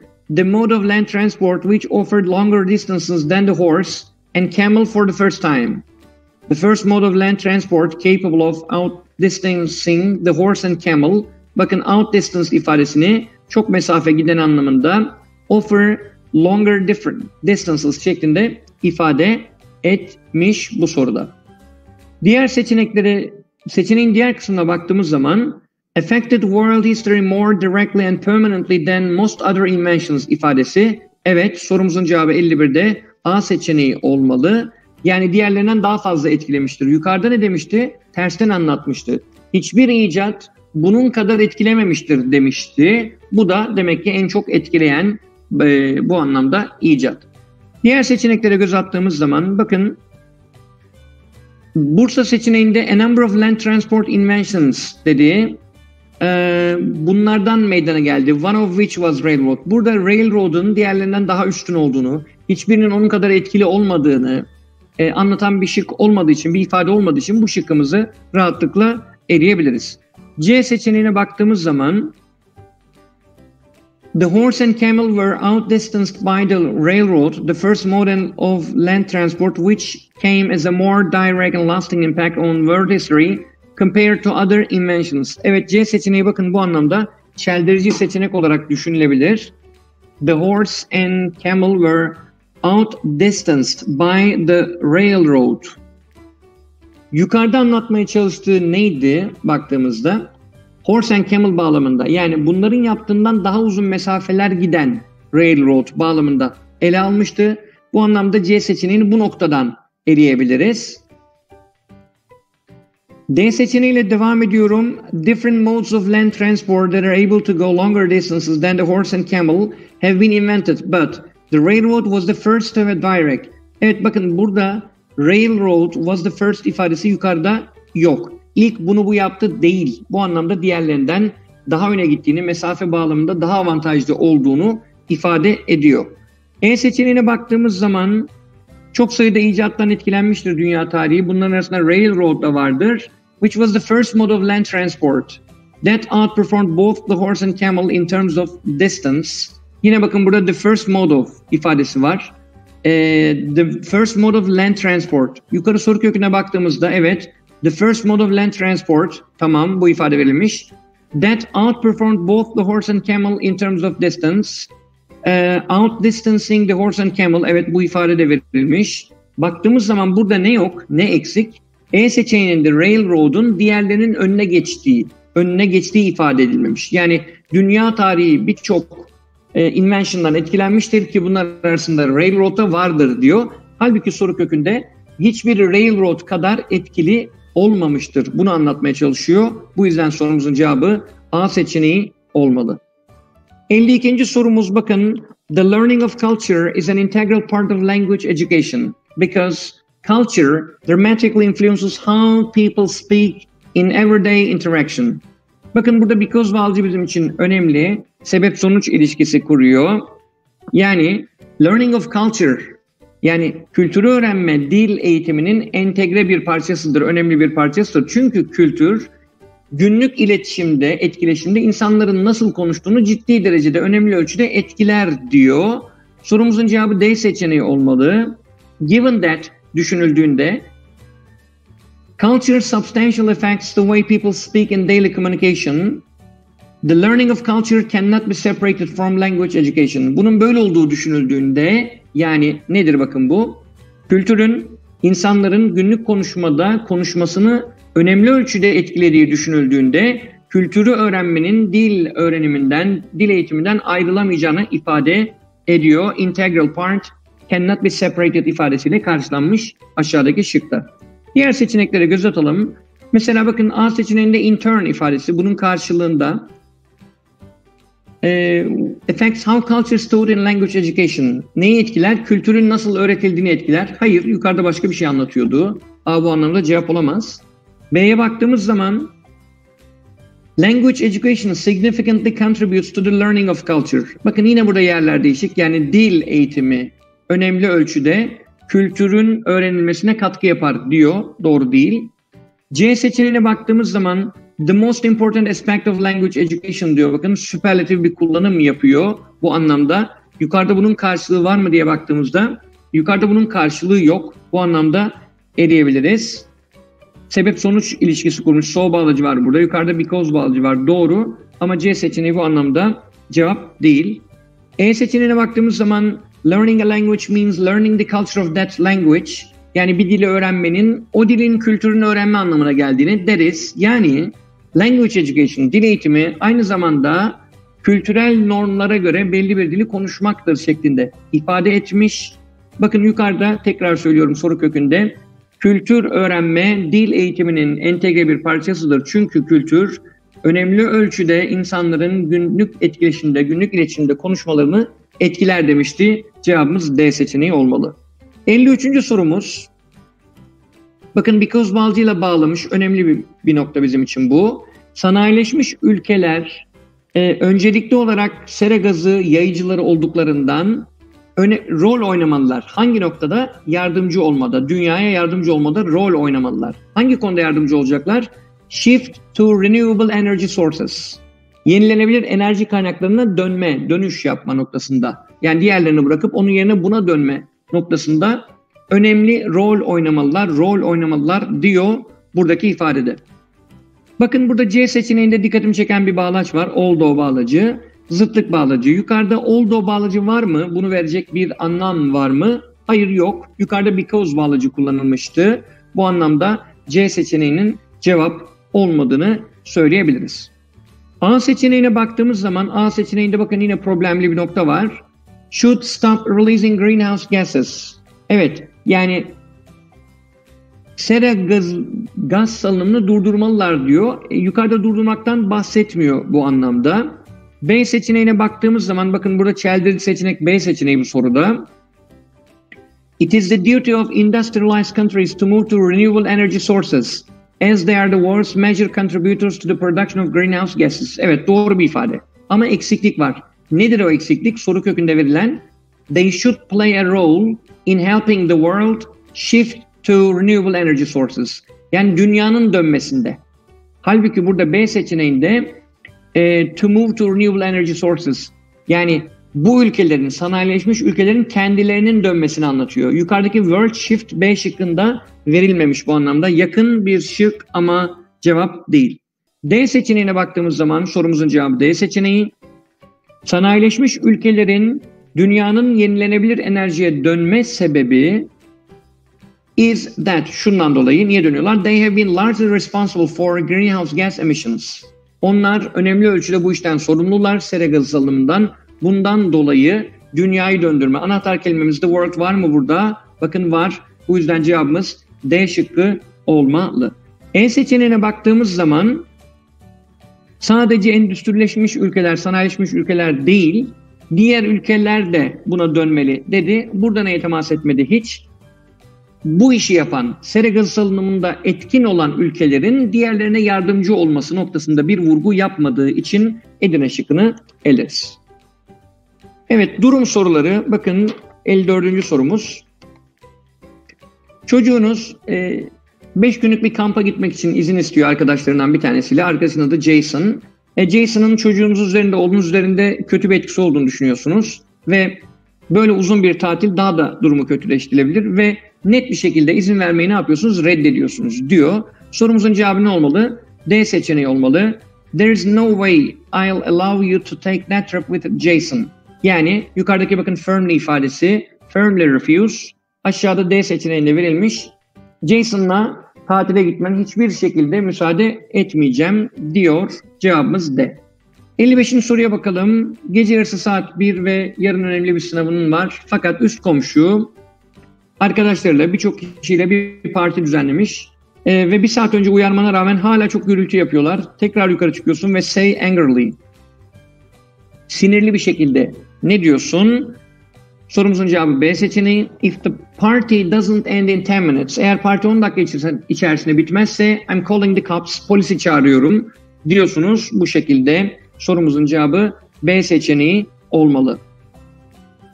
56. sorumuz beklemediğiniz bir şekilde bir e, hafta sonu, boş bir hafta sonu ortaya çıkıyor ve bir arkadaşınızın e, bir kafede resim sergisi olduğunu tablolarını sergileyeceğini, tablolarıyla bir sergi düzenleyeceğini haber alıyorsunuz. Gitmek istiyorsunuz ve en iyi arkadaşınızdan, en iyi arkadaşınız da size katılması için davet ediyorsunuz. Bu tip faaliyetlerden hoşlanmadığını ifade ediyor.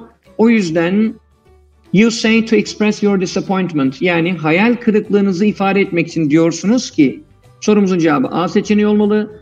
Even if you didn't like the idea of an exhibition, yani sergi fikrini sevmesen bile you could at least join me. En azından bana katılabilirdin just to make me happy. Sadece beni mutlu etmek için. I felt excited about it. Ee, bu sergiyle ilgili heyecanlanıyordum. Evet, disappointment ifade edilmiş oldu mu? Oldu. Cevabımız A seçeneği. 57. sorumuza bakalım. Bir iş görüşmeniz var ve e, şehrin diğer tarafında biraz geç kalıyorsunuz ve arkadaşlarınızdan bir tanesinin arabası var ve sizi oraya götürmeyi teklif ediyor. Teklifi kabul ediyorsunuz ve minnettar bir şekilde diyorsunuz ki gratefully. Evet, gratefully. Seçeneklere baktığımız zaman sorumuzun cevabı C seçeneği olmalı. Thanks This helps me a lot. I would miss the interview if I took the bus. Yani e, eğer otobüsle gitsem geç kalırım. If close type 2 ile gerçek dışı bir durumu anlatıyor. Çok yardımcı olduğunu ve teşekkür ettiğini ifade ediyor. Grateful ifadesi bu anlamda bizim için önemli. 58. sorumuz bakın. A friend of yours borrowed some money from a really long time ago. Bir arkadaşın bayağı uzun bir süre önce senden borç para aldı ve hala geri ödemedi. Gerçekten yakın arkadaşsınız ve unuttuğunu düşünüyorsun. Onu da üzmek istemiyorsun. Fakat senin de ne kadar para ihtiyacın olduğunu anlamasını istiyorsun. Diyorsun ki I hate to bring this up. Bu mevzuyu gündeme getirmekten nefret ediyorum fakat e, bu ay masraflarımı karşılayabileceğimi düşünmüyorum. Eğer mümkünse ödünç aldığın parayı bir an önce verebilir misin şeklinde bir ifade. Bakın dikkat edilecek nokta hem onu üzmek istemiyorsun hem de ne kadar para ihtiyacın olduğunu anlamasını istiyorsun. Dolayısıyla burada vermemiz gereken ifade cevap olarak D seçeneği olmalı. Paragraf tamamlama sorularımız. Bakın sosyolojiden bahsediyor. Sosyoloji çok sayıdaki sosyal bilimden bir tanesidir ki bu sosyal ne yapar? Ee, understand and explain the behavior of human beings. İnsanların davranışlarını açıklamaya ve anlamaya çabalayan çok sayıdaki sosyal bilimlerden bir tanesidir sosyoloji diyor. Bazı sosyal bilimlerden farklı olarak toplumun tek bir noktasına kendisini sınırlandırmaz. Toplumun tek bir noktasıyla kendisini sınırlandırmaz diyor buradaki ifadede. Şimdi boşluktan sonra bakın e, şurada özür diliyorum boşluktan sonra değil boşluktan öncesi. Bakın it doesn't confine itself to one particular area of society. Indeed aslında sociologists are concerned with a vast range of topics. Çok çeşitli konularla ilgilenirler. Bu konuların arasında ne var? Shopping var, popular music var, poverty and migration var. Yani bakın tek bir alanla sınırlandırmaz ve arkadan bu geniş alanların ne olduğunu söyledi. Sorumuzun cevabı bu bağlamda A seçeneği olmalı. 60. sorumuzla devam edelim. Mikrodalga fırınların direkt olarak yiyecekleri ısıtmadığını, onların yaptığı şeyin suyu ısıtmak olduğunu ifade ediyor. The frequency of microwaves, mikrodalgaların frekansları yani sıklığı ne yapıyor? Tam olarak burada suya, suda uyarıcı etki yapıyor. Exciting yapıyor. Exciting water molecules su moleküllerini harekete geçiriyor. Bu işe yarıyor. Sorumuzun cevabı ne olmalı? B seçeneği olmalı. By spreading their energy evenly through food. Enerjisini eşit şekilde gıdanın yiyeceğin her tarafına dağıtarak mikrodalgalar ne yapıyor? Suyu ısıtıyor. Yani yiyeceğin içerisindeki suyu ısıtıyor ve o ısınan suda yiyeceği pişirmiş oluyor diyor. Nearly all food contains water. Neredeyse tüm gıdalarda su olduğunu fakat mikrodalgaların tamamen kuru olan gıdaları ne gibi? Cornflakes gibi, pirinç gibi ya da makarna gibi gıdaları, yiyecekleri pişirmediğini ifade ediyor. Sorumuzun cevabı B seçeneği olmalı. 61. sorumuz. 61. soruda bakın şu ana kadar e, toprak bakterileriyle ilgili çok kapsamlı bir harita çıkartılmadığını fakat bir araştırma ekibinin, bir bilim insanı ekibinin bu anlamda ilk adımı attıklarını toward creating one yani böyle bir map ortaya koyma, böyle bir harita ortaya koyma adına ilk adımı attığını ve find out something surprising along the way. Bu çalışma esnasında çalışma devam ederken ilginç bir şey bulduklarını ifade ediyor. Bu araştırmacılar 18 ülkeden yaklaşık 300 toprak türü topladılar diyor ve as many different environments as possible. 18 farklı ülkeden ve olabildiğince çeşitli farklı çevrelerden 300 toprak türü topladılar diyor. Sorumuzun cevabı ne olmalı? They were expecting C seçeneği olmalı. To find a diverse array of bacteria species spanning different terrains. Farklı alanlarda bulunan, farklı toprak türlerinde bulunan farklı farklı bakteri türlerinden diverse array, çok çeşitli, wide range of gibi düşünebiliriz bunu. Çok çeşitli türler bulmak istiyorlardı. However, bakın önemli, tersi bir ifade söyleyecek. Bilim insanları neyi buldular? Bunu bulmayı bekliyorlardı. Neyi buldular? Across these different environments on Earth, a relatively small number of bacteria species dominated. Evet bakın a relatively small number of önemli bir ifade bizim için. Nispeten az sayıda bakteri türü dominate ettiğini ifade ediyor. Yani bu soruda yakalamamız gereken however'ın arkasındaki şu a relatively small number of ifadesi ön tarafta da soru kökünde daha doğrusu soru şıklarda da düzeltiyorum. Şıklarda da C seçeneğinde yer alan a diverse array of bacteria species ifadesi. Bunu yakaladığımız zaman cevabı ulaşmış oluruz.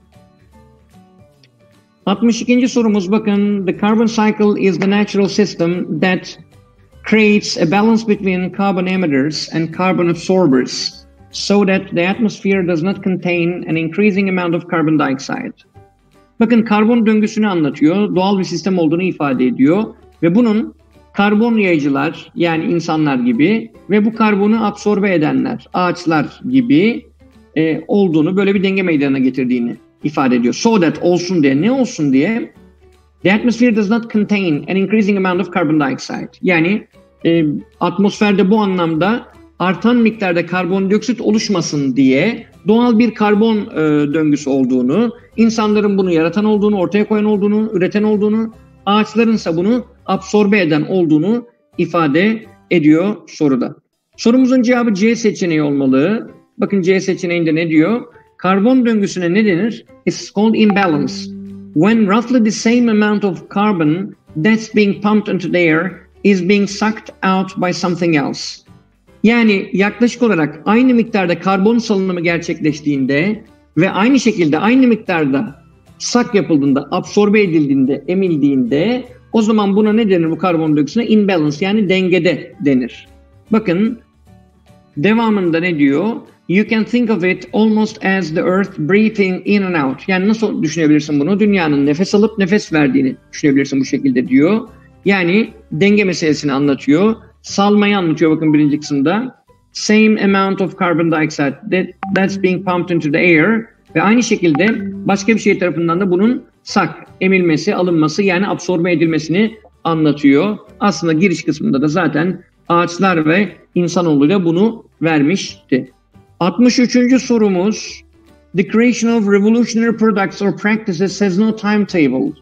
Yani böyle devrim niteliğindeki ürünlerin, uygulamaların ortaya çıkmasının herhangi bir timetable, zamani bir çizelgesinin olmadığını, zamanla bağlantılı bir timetable olmadığını ifade ediyor. Evet, devamında bakın büyük beyinlerden bahsediyor. Bu e, inovasyonlara, bu ilhamlara e, hayata geçiren kişilerin büyük beyinler olduğunu anlatıyor. Fakat however, bakın zıtlık bağlacı, bağlaçlar bu anlamda bu soruda bizim için önemli. Bakın iki şıkta hatta E seçeneğinde ve D'yi de sayarsak D'de bile verilmiş. Dört tane seçenekte bakın burada bağlaç bilgimizden destek alabiliriz. Ne diyor C seçeneğinde? There have been a number of specifically fruitful periods of invention throughout history. Evet. Bakın büyük beyinler bu ilhamlara kapı aralamıştır. Bunun fikir babalığını yapmıştır. Bunu anlatmaya çalışıyor. Fakat diyor belli dönemler vardır tarih boyunca ki bu dönemler spesifik olarak çok verimli icatların olduğu yani çok icadın olduğu verimli dönemlerdir diyor. Arkadan bakın for instance bizim için önemli bir bağlaç. Cevaba ulaşmamıza bu anlamda destek oluyor. Rönesans çok büyük bir intellectual exploration dönemiydi diyor. Aynı zamanda inovasyon dönemiydi diyor. Nerede? Art, philosophy, medicine, engineering and science. Devamında da bunları açıklıyor. Evet. Fakat bakın burada however geçiyor. Güzel bir geçiş oldu. Arkadan e, tarihte bu anlamda fruitful dönemler vardır dedi. Örneğin Rönesans dedikten sonra da bunu açıkladı. Sorumuzun cevabı 63. soruda C seçeneği olmalı.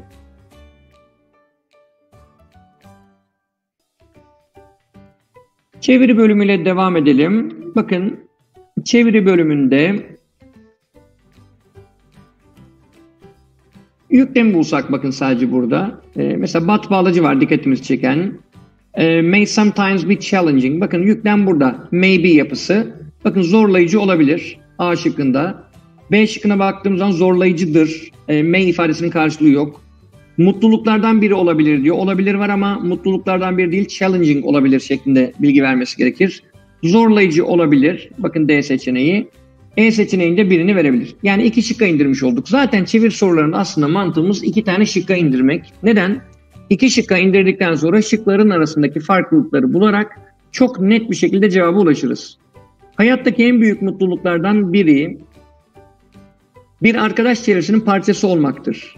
Ama grup dinamiğini oluşturmak zorlayıcı olabilir. A seçeneğine bakalım. Bir arkadaş çevresinin parçası olmak hayattaki en büyük mutluluklardan biridir. Evet bakın burada özne ne? Being part of a circle of friends. Yani hayattaki en büyük mutluluklardan biri mi yoksa bir arkadaş çevresinin parçası olmak mı? Özne bağlamında A daha, daha yakın gibi. Devamına bakalım. Ancak bir grubun dinamiği bazen zorlayıcı olabilir ama grup dinamiği oluşturmak zorlayıcı olabilir. Bakın burada oluşturmak ifadesi var. Bakın yukarıda grubun dinamiği diyor. The dynamics of a group ifadesi tamlama olarak tam net bir şekilde nerede verilmiş? A'da verilmiş. Hem özne bağlamında, öznenin yeri bağlamında hem de burada bir grubun dinamiği tamlaması tam olarak A seçeneğinde verilmiş. D çeldirici şıkkımız. Doğru cevabımız A şıkkı. 65. sorumuza bakalım. Bakın ne diyor burada? People. Hangi people? Who watch television more than 4 hours a day? Günde 4 saatten daha fazla. Çevirip aşağıda aramıyoruz tabii ki bir soru mantığı olarak. Şıklardan gidelim daha sağlıklı olur. A şıkkına bakalım veriyor mu bunu? Günde 4 saatten fazla televizyon izleyen insanların daha az izleyenlerle karşılaştırıldığında evet bakın compared with ciddi bir sağlık problemi evet major health issue yaşaması have iki kat daha olasıdır. Are twice as likely. Sorumuzun cevabı A seçeneği bakın bu soruda. B seçeneğine baktığımız zaman günde 4 saatten fazla televizyon izleyenler demiş. Halbuki yukarıda people vardı. Burada zamir kullanmış. Çevir sorusu olduğu için tabii ki bunu karşılamaz. Anlamcı en yakın sorusu olsaydı eş anlamlı olarak yorumlayabilirdik. Diğer nokta bakın C seçeneğine baktığımız zaman C seçeneğinde günde 4 saatten fazla televizyon izleyen insanların karşılaştıkları ciddi sağlık problemlerinin demiş. Bakın bu şekildeki bir tamlama aynı şekilde yukarıya uygun değil. Yukarıdaki tamlama şu. People who watch television more than 4 hours a day. D seçeneğine baktığımız zaman daha az televizyon izleyen insanlarla karşılaştırıldığında günde 4 saatten fazla televizyon izleyen insanların şeklinde bir kıyaslama yapılmış. Evet A şıkkında da bu var. Yerleri farklı olsa da ciddi bir sağlık problemi yaşama olasılığının evet iki kat daha olasıdır. iki kat arttığı düşünülmektedir. Bakın ne problem var burada? Düşünülmektedirden dolayı D'yi rahatlıkla eleyebilirsiniz. E seçeneğine baktığımız zaman günde 4 saat daha fazla televizyon izleyenlerde ciddi bir sağlık problemiyle karşılaşma olasılığı. Evet bakın olasılık ifadesi öznenin içerisinde yer almadığı için E seçeneğinde bu bağlamda eleriz. Sorumuzun cevabı A şıkkı olmalı. 66. sorumuz All the activities that keep the body alive are constantly controlled by the nervous system. Evet bakın burada yüklemimiz are constantly controlled. Devamlı kontrol edilir, sürekli kontrol edilir. Pasif bir kurgu. Bakın A şıkkı sürekli kontrol eder, aktif olduğu için cevap olamaz. B şıkkı sürekli kontrol edilir olabilir. E, C şıkkında kontrol edilir var ama hemen önünde sürekli ifadesi yok. Bu anlamda doğru olmaz. Sürekli denetlenir, aktiviteler sürekli denetlenir. Tamam, olabilir. Denetlenir, burada da sürekli ifadesi yok. Yani bakın sadece burada yükleme baktığımızda kaça düşürdük? İkiye düşürdük. Bu sorunun cevabı ya B ya da D. Az önce de söylediğim gibi iki şık arasında kaldıktan sonra yapmamız gereken nedir? Sadece şıkların arasındaki farkı bulmaktır. Bedeni canlı tutan bütün aktiviteler. Bakın tamlamaya. All the activities that keep the body alive. Sorumuzun cevabı ne olmalı 66. soruda? B seçeneği olmalı. Uzuvların nasıl çalıştığı hakkında bilgi toplayarak, yaparak, ederek bakın. Collecting information about how body parts are working. Günde 24 saat çalışan, bakın, nervous system which works 24 hours a day. Günde 24 saat çalışan sinir sistemi tarafından sürekli kontrol edilir. Bakın diğer seçeneğimiz D seçeneğiydi. 24 saat boyunca çalışan sinir sisteminin uzuvların nasıl çalıştığı hakkında bilgi toplaması. Bakın bilgi toplaması diyor mesela burada. Doğru cevapta bilgi toplayarak. Çünkü ne vardı yukarıda? Bakın collecting information. Evet. Diğer nokta bakın 24 saat boyunca demiş mesela D seçeneğinde. Boyunca ifadesi var. Burada günde 24 saat çalışan demiş. Boyunca ifadesi burada yok yine farklılık noktasında. Dediğim gibi son iki şıkla getirdikten sonra çeviri sorularında yanlış yapma ihtimalimizi aslında sıfırlamış oluyoruz. Diğer bir nokta bakın son anda gözüme çarptı. D seçeneğinde sayesinde diyor. Bakın sayesinde. B ve D arasında çok net bir farklılık daha yakaladım. Bir iki tane yakalamıştım. Bir farklılık daha bilgi toplaması sayesinde. Sayesinde ifadesi B'de yok. Burada var. E bakın yukarıda sayesinde var mı? O da yok. Bundan dolayı da zaten D şıkkı olmayacağını söyleyebiliriz.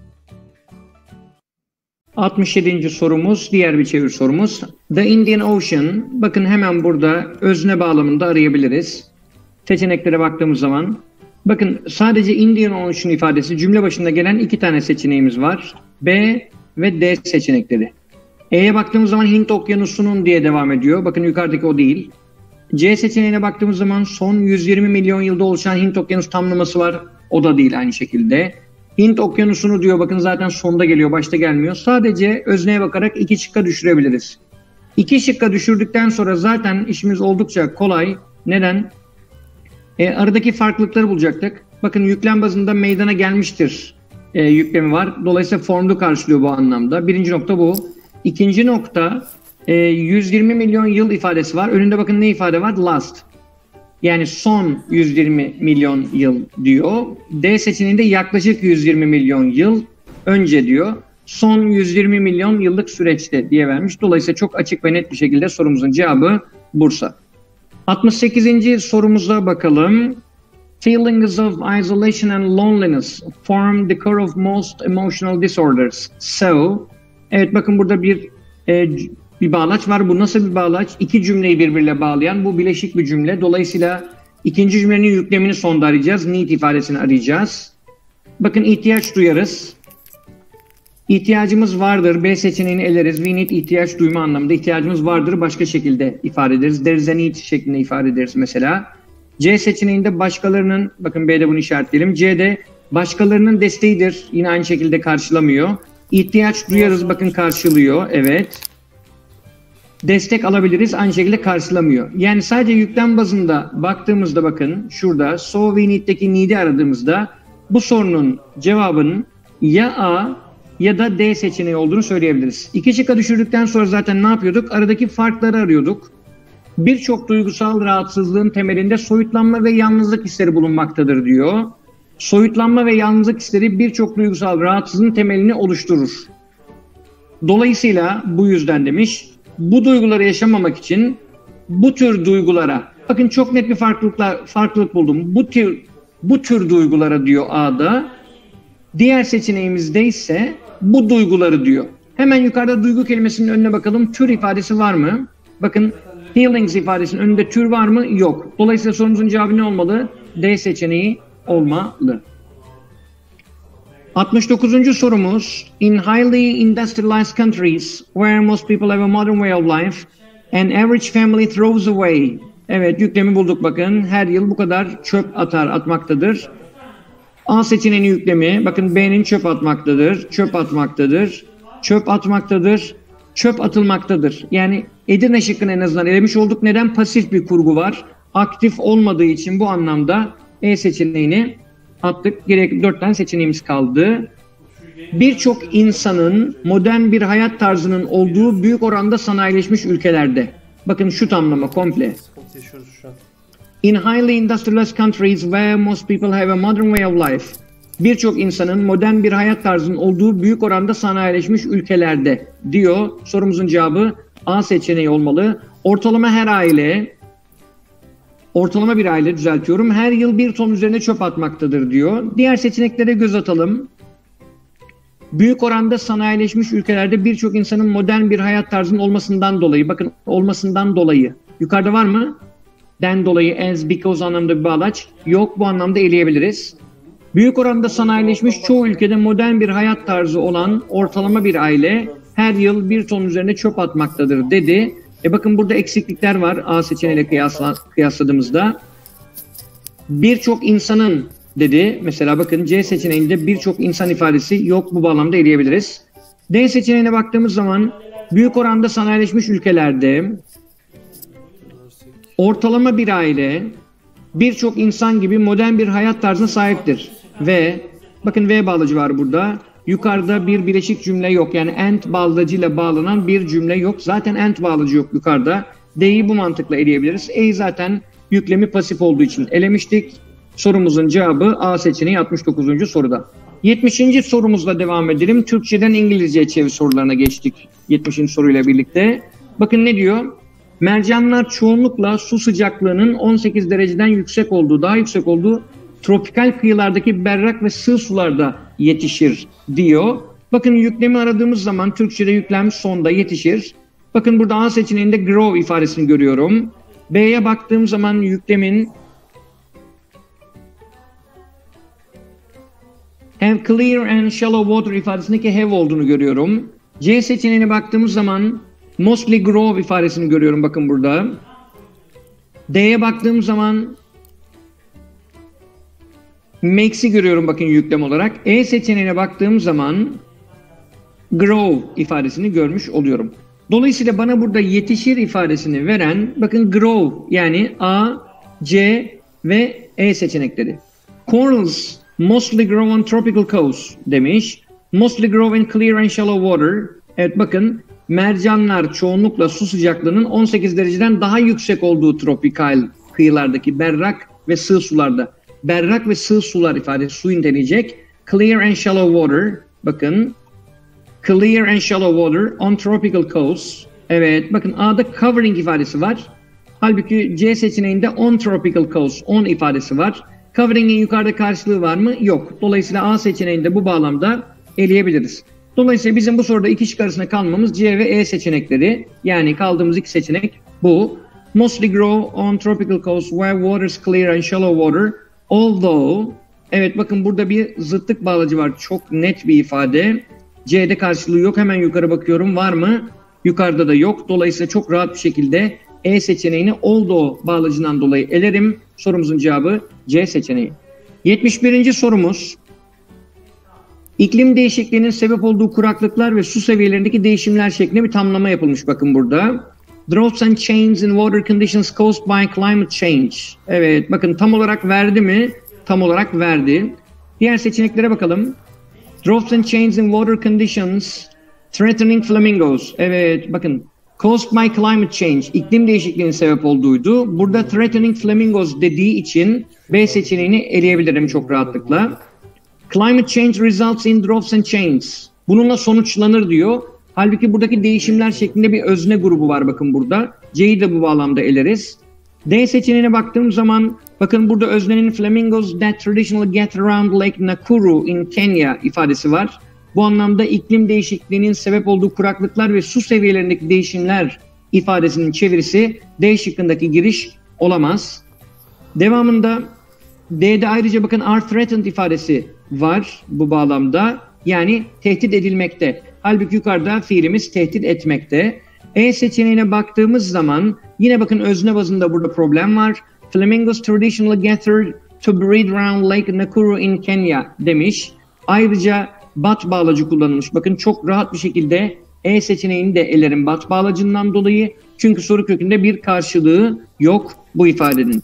Dolayısıyla 71. sorumun cevabı ne olmalı diye baktığımda sorunun cevabı çok net bir şekilde çeldiriciye bile gerek kalmadan A seçeneği olduğu ortaya çıkıyor. 72. sorumuzla devam edelim. 72. soruda bakın bazı araştırmacılar diyor. Hemen bu ifadeyi aşağıda arasam özne bazlı, özne merkezli hareket etsem. Bakın B seçeneğindeki some researchers ve E seçeneğindeki some researchers ifadesi var. D'yi rahatlıkla elerim. Neden? According to some researchers diyor. Bazı araştırmacılara göre diyor bu anlamda. C seçeneğinde by some researchers ifadesi geçiyor. Bazı araştırmacılar tarafından ve sonda verilmiş bakın. A şıkkına baktığımız zaman yine aynı şekilde. Yani sadece özne hareket, özneden hareket edersem 72'de iki şıkka düşürmüş oluyorum. B ve E seçenekleri. Aradaki farkları bulalım. Suggest that there's a link people's developing. Evet bakın there's a link. Link yani bağlantı vardır diyor. Burada ise is linked bağlantılıdır diyor. Bakalım kahve tükü tüketimi ile insanların belirli sağlık sorunlarına karşı direnç geliştirmesi arasında bir bağlantı olduğu. Evet bakın bir bağlantı olduğu. Dolayısıyla there's a link ifadesiyle verebiliriz çok rahat bir şekilde bunu. Bunun dışında başka bir farklılık var mı diye baktığımızda developing resistance uh, to certain health problems is linked to coffee consumption. Evet. Bakın kahve tüketimiyle bunun arasında vardır diyor. There's a link between coffee consumption and between end kalıbıyla da bu anlamda desteklenmiş. Çok net bir şekilde E seçeneğinde between end kalıbını göremiyoruz. Sorumuzun cevabı B olmalı. A şıkkına 73. soruyu düzeltiyorum baktığımızda doğru cevabın A şıkkı olduğunu söyleyebiliriz. Bakın ne diyor? Susuz kalmak sağlığımız için iyi değildir. Ancak being bakın being dehydrated is not good for our health. Tam olarak verdi mi yukarıyı? Verdi. Devamı ancak but'la ifade edilmiş. The idea that we need to drink 8 glasses of water a day ancak su ihtiyacımızı karşılamak için günde 8 bardak su içmemiz gerektiği fikrinin de hiçbir bilimsel dayanağı yoktur. The idea that we need to drink 8 glasses of water a day in order to stay hydrated has also no scientific background. Sorumuzun cevabı A seçeneği olmalı. Bakın diğer seçeneklere being dehydrated is not good for health. Evet. Sağlığımız için iyi değildir diyor. Bakın burada sağlık için iyi değildir diyor. Yakın şık. Yakın bir şık gibi gözükse de arkasından however gelse de yani bu anlamda bakın A'dan bir farklılığı var. Our ifadesi olmadığı için B'yi bu anlamda eleyebiliriz. C'de oldu ile giriş yapmış. Bakın burada bir zıtlık var soru kökünde ama ancak ifadesini bu şekilde çevir sorularında oldu ile karşılayamayız. Being dehydrated has no benefits for our health. Hiçbir faydası yoktur diyor. Sağlığımız için iyi değildir ifadesini karşılamıyor D girişi. E seçeneğine baktığımız zaman da there's no scientific evidence to prove ifadesiyle başlamış. Bu anlamda susuz kalmak sağlığımız için iyi değildir ifadesini, öznesini vermiyor bize. Sorumuzun cevabı A seçeneği olmalı. 74. sorumuz yeni meydana gelen bir yaralanma için uygulanmaması gerekse de sıcaklık uzun süreli kas ağrılarına faydalı olabilir. Bakın faydalı olabilir ifadesine belki burada dikkat çekilebilir. Can be beneficial. Diğer seçeneklerde bunu arasak mesela bakın B seçeneğine baktığım zaman faydalı ifadesini karşılayacak, şu ifadeyi karşılayacak bir ifade göremiyorum. C'ye baktığım zaman C'de de bakın can be effective ifadesini görüyorum. Evet, efektif olabilir. D'ye baktığım zaman no matter how beneficial heat can be, ne kadar faydalı olsa da şeklinde çeviriyoruz. Yani bu yapıyı yüklem içerisinde vermemiş. Çünkü burada yüklem it should not be used, shouldn't be used ifadesi. E'ye baktığım zaman can be used, kullanılabilir. Evet modul var ama faydalı olabilir değil, kullanılabilir şeklinde vermiş. E'yi de bu bağlamda eleriz. Yani iki şık arasında kalacaksak A ve C arasında kalırız. Efektif kelimesi de verimli, faydalı anlamında yakın bir kelime. Although it should not be used for a fresh injury. Yeni meydana gelen bir yaralanma için uygulanmaması gerekse de diyor bakın 74'te. Sorumuzun cevabı A seçeneği olmalı. It can be beneficial for long-term muscle pains. C'ye baktığımız zaman it can be effective for long-term muscle pains though you should not use it for fresh injury. Evet bakın burada yerle ilgili problem var. Yani e, bakın şu kısım önce verilmiş. Dolayısıyla although it should not be used for fresh injury. Bir burada itle anlatılıyor. Yani kullanma anlamında. C seçeneğinde ise bakın you ile anlatıyor. You shouldn't use it. Burada it shouldn't be used. Yani pasif kurgu üzerinden anlatıyor bu anlamda. Aktif pasif noktasında da farklılık var. Dolayısıyla 74. soruda cevabımız A seçeneği olmalı. 75. sorumuz son çeviri sorumuz. İnsanları hayvanlardan ayıran temel özellik. Demiş bakın böyle bir giriş yapmış. Bu ifadeyi aşağıda arasak. Humans are capable of creating sophisticated science that mediate between them diye devam ediyor. Bakın verdi mi yukarıyı? Vermedi.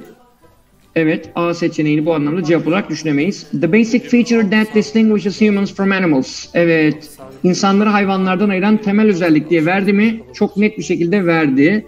C seçeneğine bakalım. Humans differ from animals in that. Bakın, insanlar şu yönüyle ayrılır, farklılıkları vardır şeklinde bir cümle var. Halbuki yukarıda insanları hayvanlardan ayıran temel özellik şeklinde bir tamlama var. C bu şıkkı vermez dolayısıyla. Humans capacity to create sophisticated science that mediate diye bir giriş yapmış. Yukarıdaki ifadeyi veriyor mu? Vermiyor. Aynı şekilde E şıkkına baktığımız zaman giriş yine aynı. Yukarıdaki ifadeyi vermiyor. insanları hayvanlardan ayıran temel özellik şeklinde özne bazında ilk ve tek girişi yapan cümlemiz doğru şıkkımız yani B seçeneği. Evet anlam bozan, anlam akışını bozan sorumuz. Bakın karbonhidratlardan bahsediyor. Birçok gıdada bulunan bulunduğunu ifade ediyor. Devamında bakın this group'la bakın are vast and diverse group of nutrients found in most foods. This group yani bu karbonhidrat grubundan bahsediyor. Bunların içinde neler olduğunu anlatıyor. Devamında bakın diğer karbonhidrat türlerinden farklı olarak fiber, liflerden bahsediyor. Evet, şimdi bakın karbonhidratlardan bahsederken burada diğer bir karbonhidrat türüne, e, daha doğrusu diğer karbonhidratların aksine fiber dedi, lif, life geçiş yaptı. Devamına bakalım karbonhidratlarla mı devam edecek yoksa fiberla mı devam edecek? The main function of the simple sugars and starches. Evet, güzel. Bakın nerede geçmişti bu? İkinci cümledeki simple sugars and complex forms such as starch ifadesi geçmişti. Basit şekerler ve onun biraz daha kompleks formları ne gibi? Starch gibi yani nişasta gibi. E, dolayısıyla 1, 2, 4 birbiriyle bağlantılı mı? Bağlantılı. E, devamında da simple sugar glucose ifadesi var. Yine bunun kullanım yerlerini anlatıyor mu? Anlatıyor. Dolayısıyla burada dışarıda kalan seçeneğimiz C şıkkı olmalı. 77'de bakın water'dan bahsediyor. Ee, çok önemlidir. İnsan vücudunun üçte ikisini, e, insanın ağırlığının üçte ikisinin sudan oluştuğunu anlatıyor make-up ifadesiyle.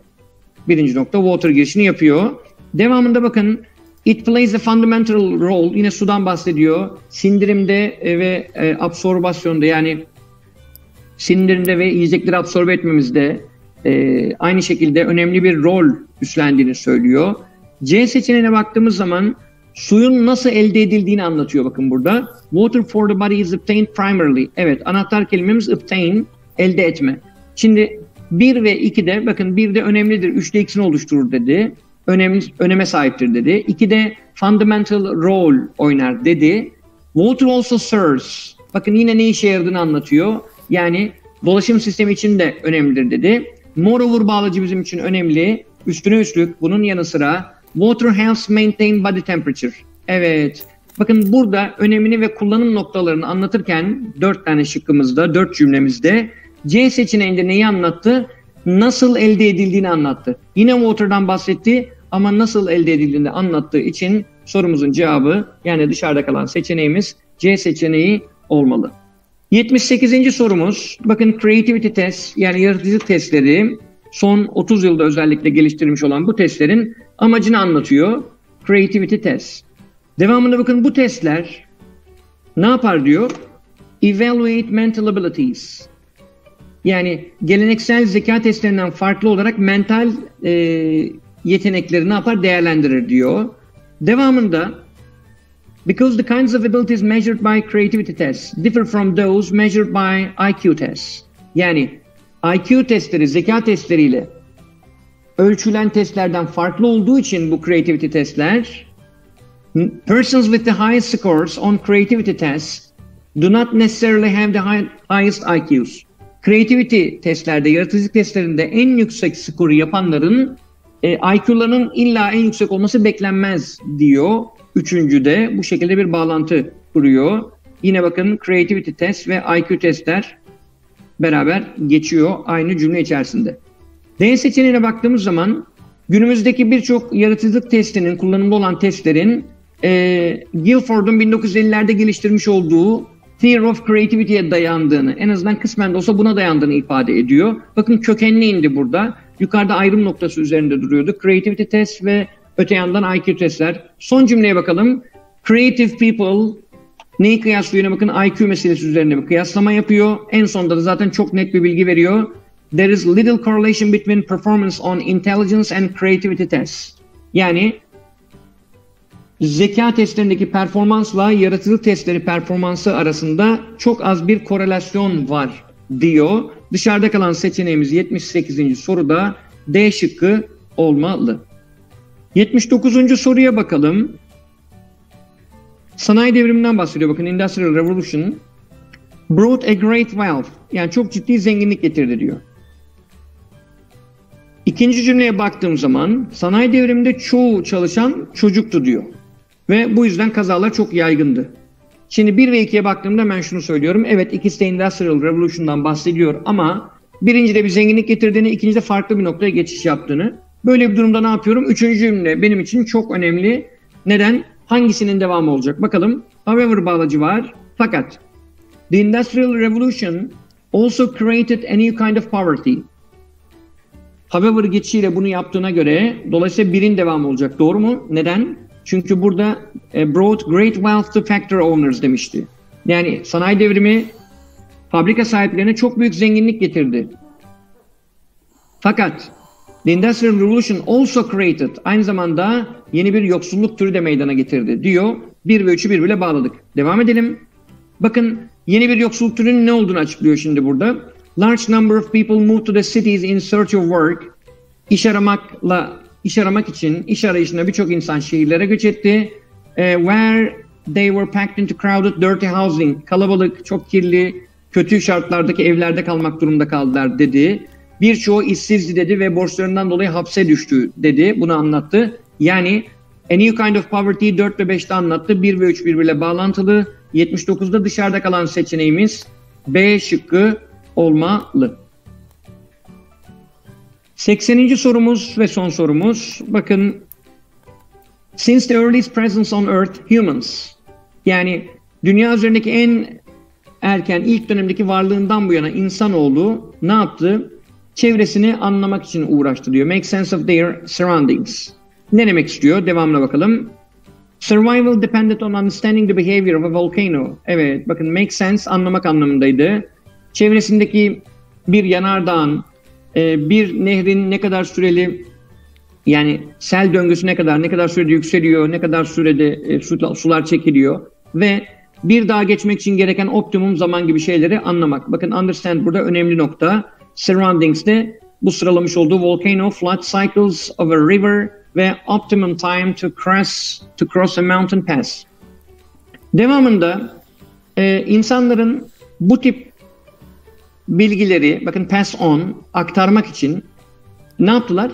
E, kayıt altına aldılar. Yani bu tip bilgileri aktarmak için bunları kayıt altına alma ve bunları aktarmak için yollar e, geliştirdiler diyor. Devamında Modern Science and Information Venture e, özür diliyorum. Modern Science and Information Gathering have given anthropologists more insight than ever before. Modern Science and Information Gathering. Bakın modern bilim, modern fen ve bilgi toplama antropologlara hiç olmadığı kadar bir kavrayış, bir imkan getiriliyor bu anlamda. Ee, bakın dördüncü şıkkımız biraz metinden sanki uzaklaştı. İnsanlar çevresini hep anlamak için uğraştı dedi. Understanding the behavior of volcano, flood cycle of a river, optimum time to cross a mountain pass bunları anlattı. Humans developed ways to record and pass on such information. Bu tip bilgileri kaydedip başkalarına aktarmak için yol ve yöntemler geliştirdiler dedi. As they ventured from their place of origin by land and by sea, people acquired broader perspective of Earth's processes and of the patterns and impact of human settlement throughout the world. Bakın özellikle şurası insanların bu anlamda dünyadaki prosesleri ve patternları anlama açısından daha geniş bir perspektife sahip olduğunu, yine anlayışla bağlantılı bir yaklaşım 5. cümlede verilen. Dolayısıyla bu bağlamda dışarıda kalan seçeneğimiz D şıkkı olmalı.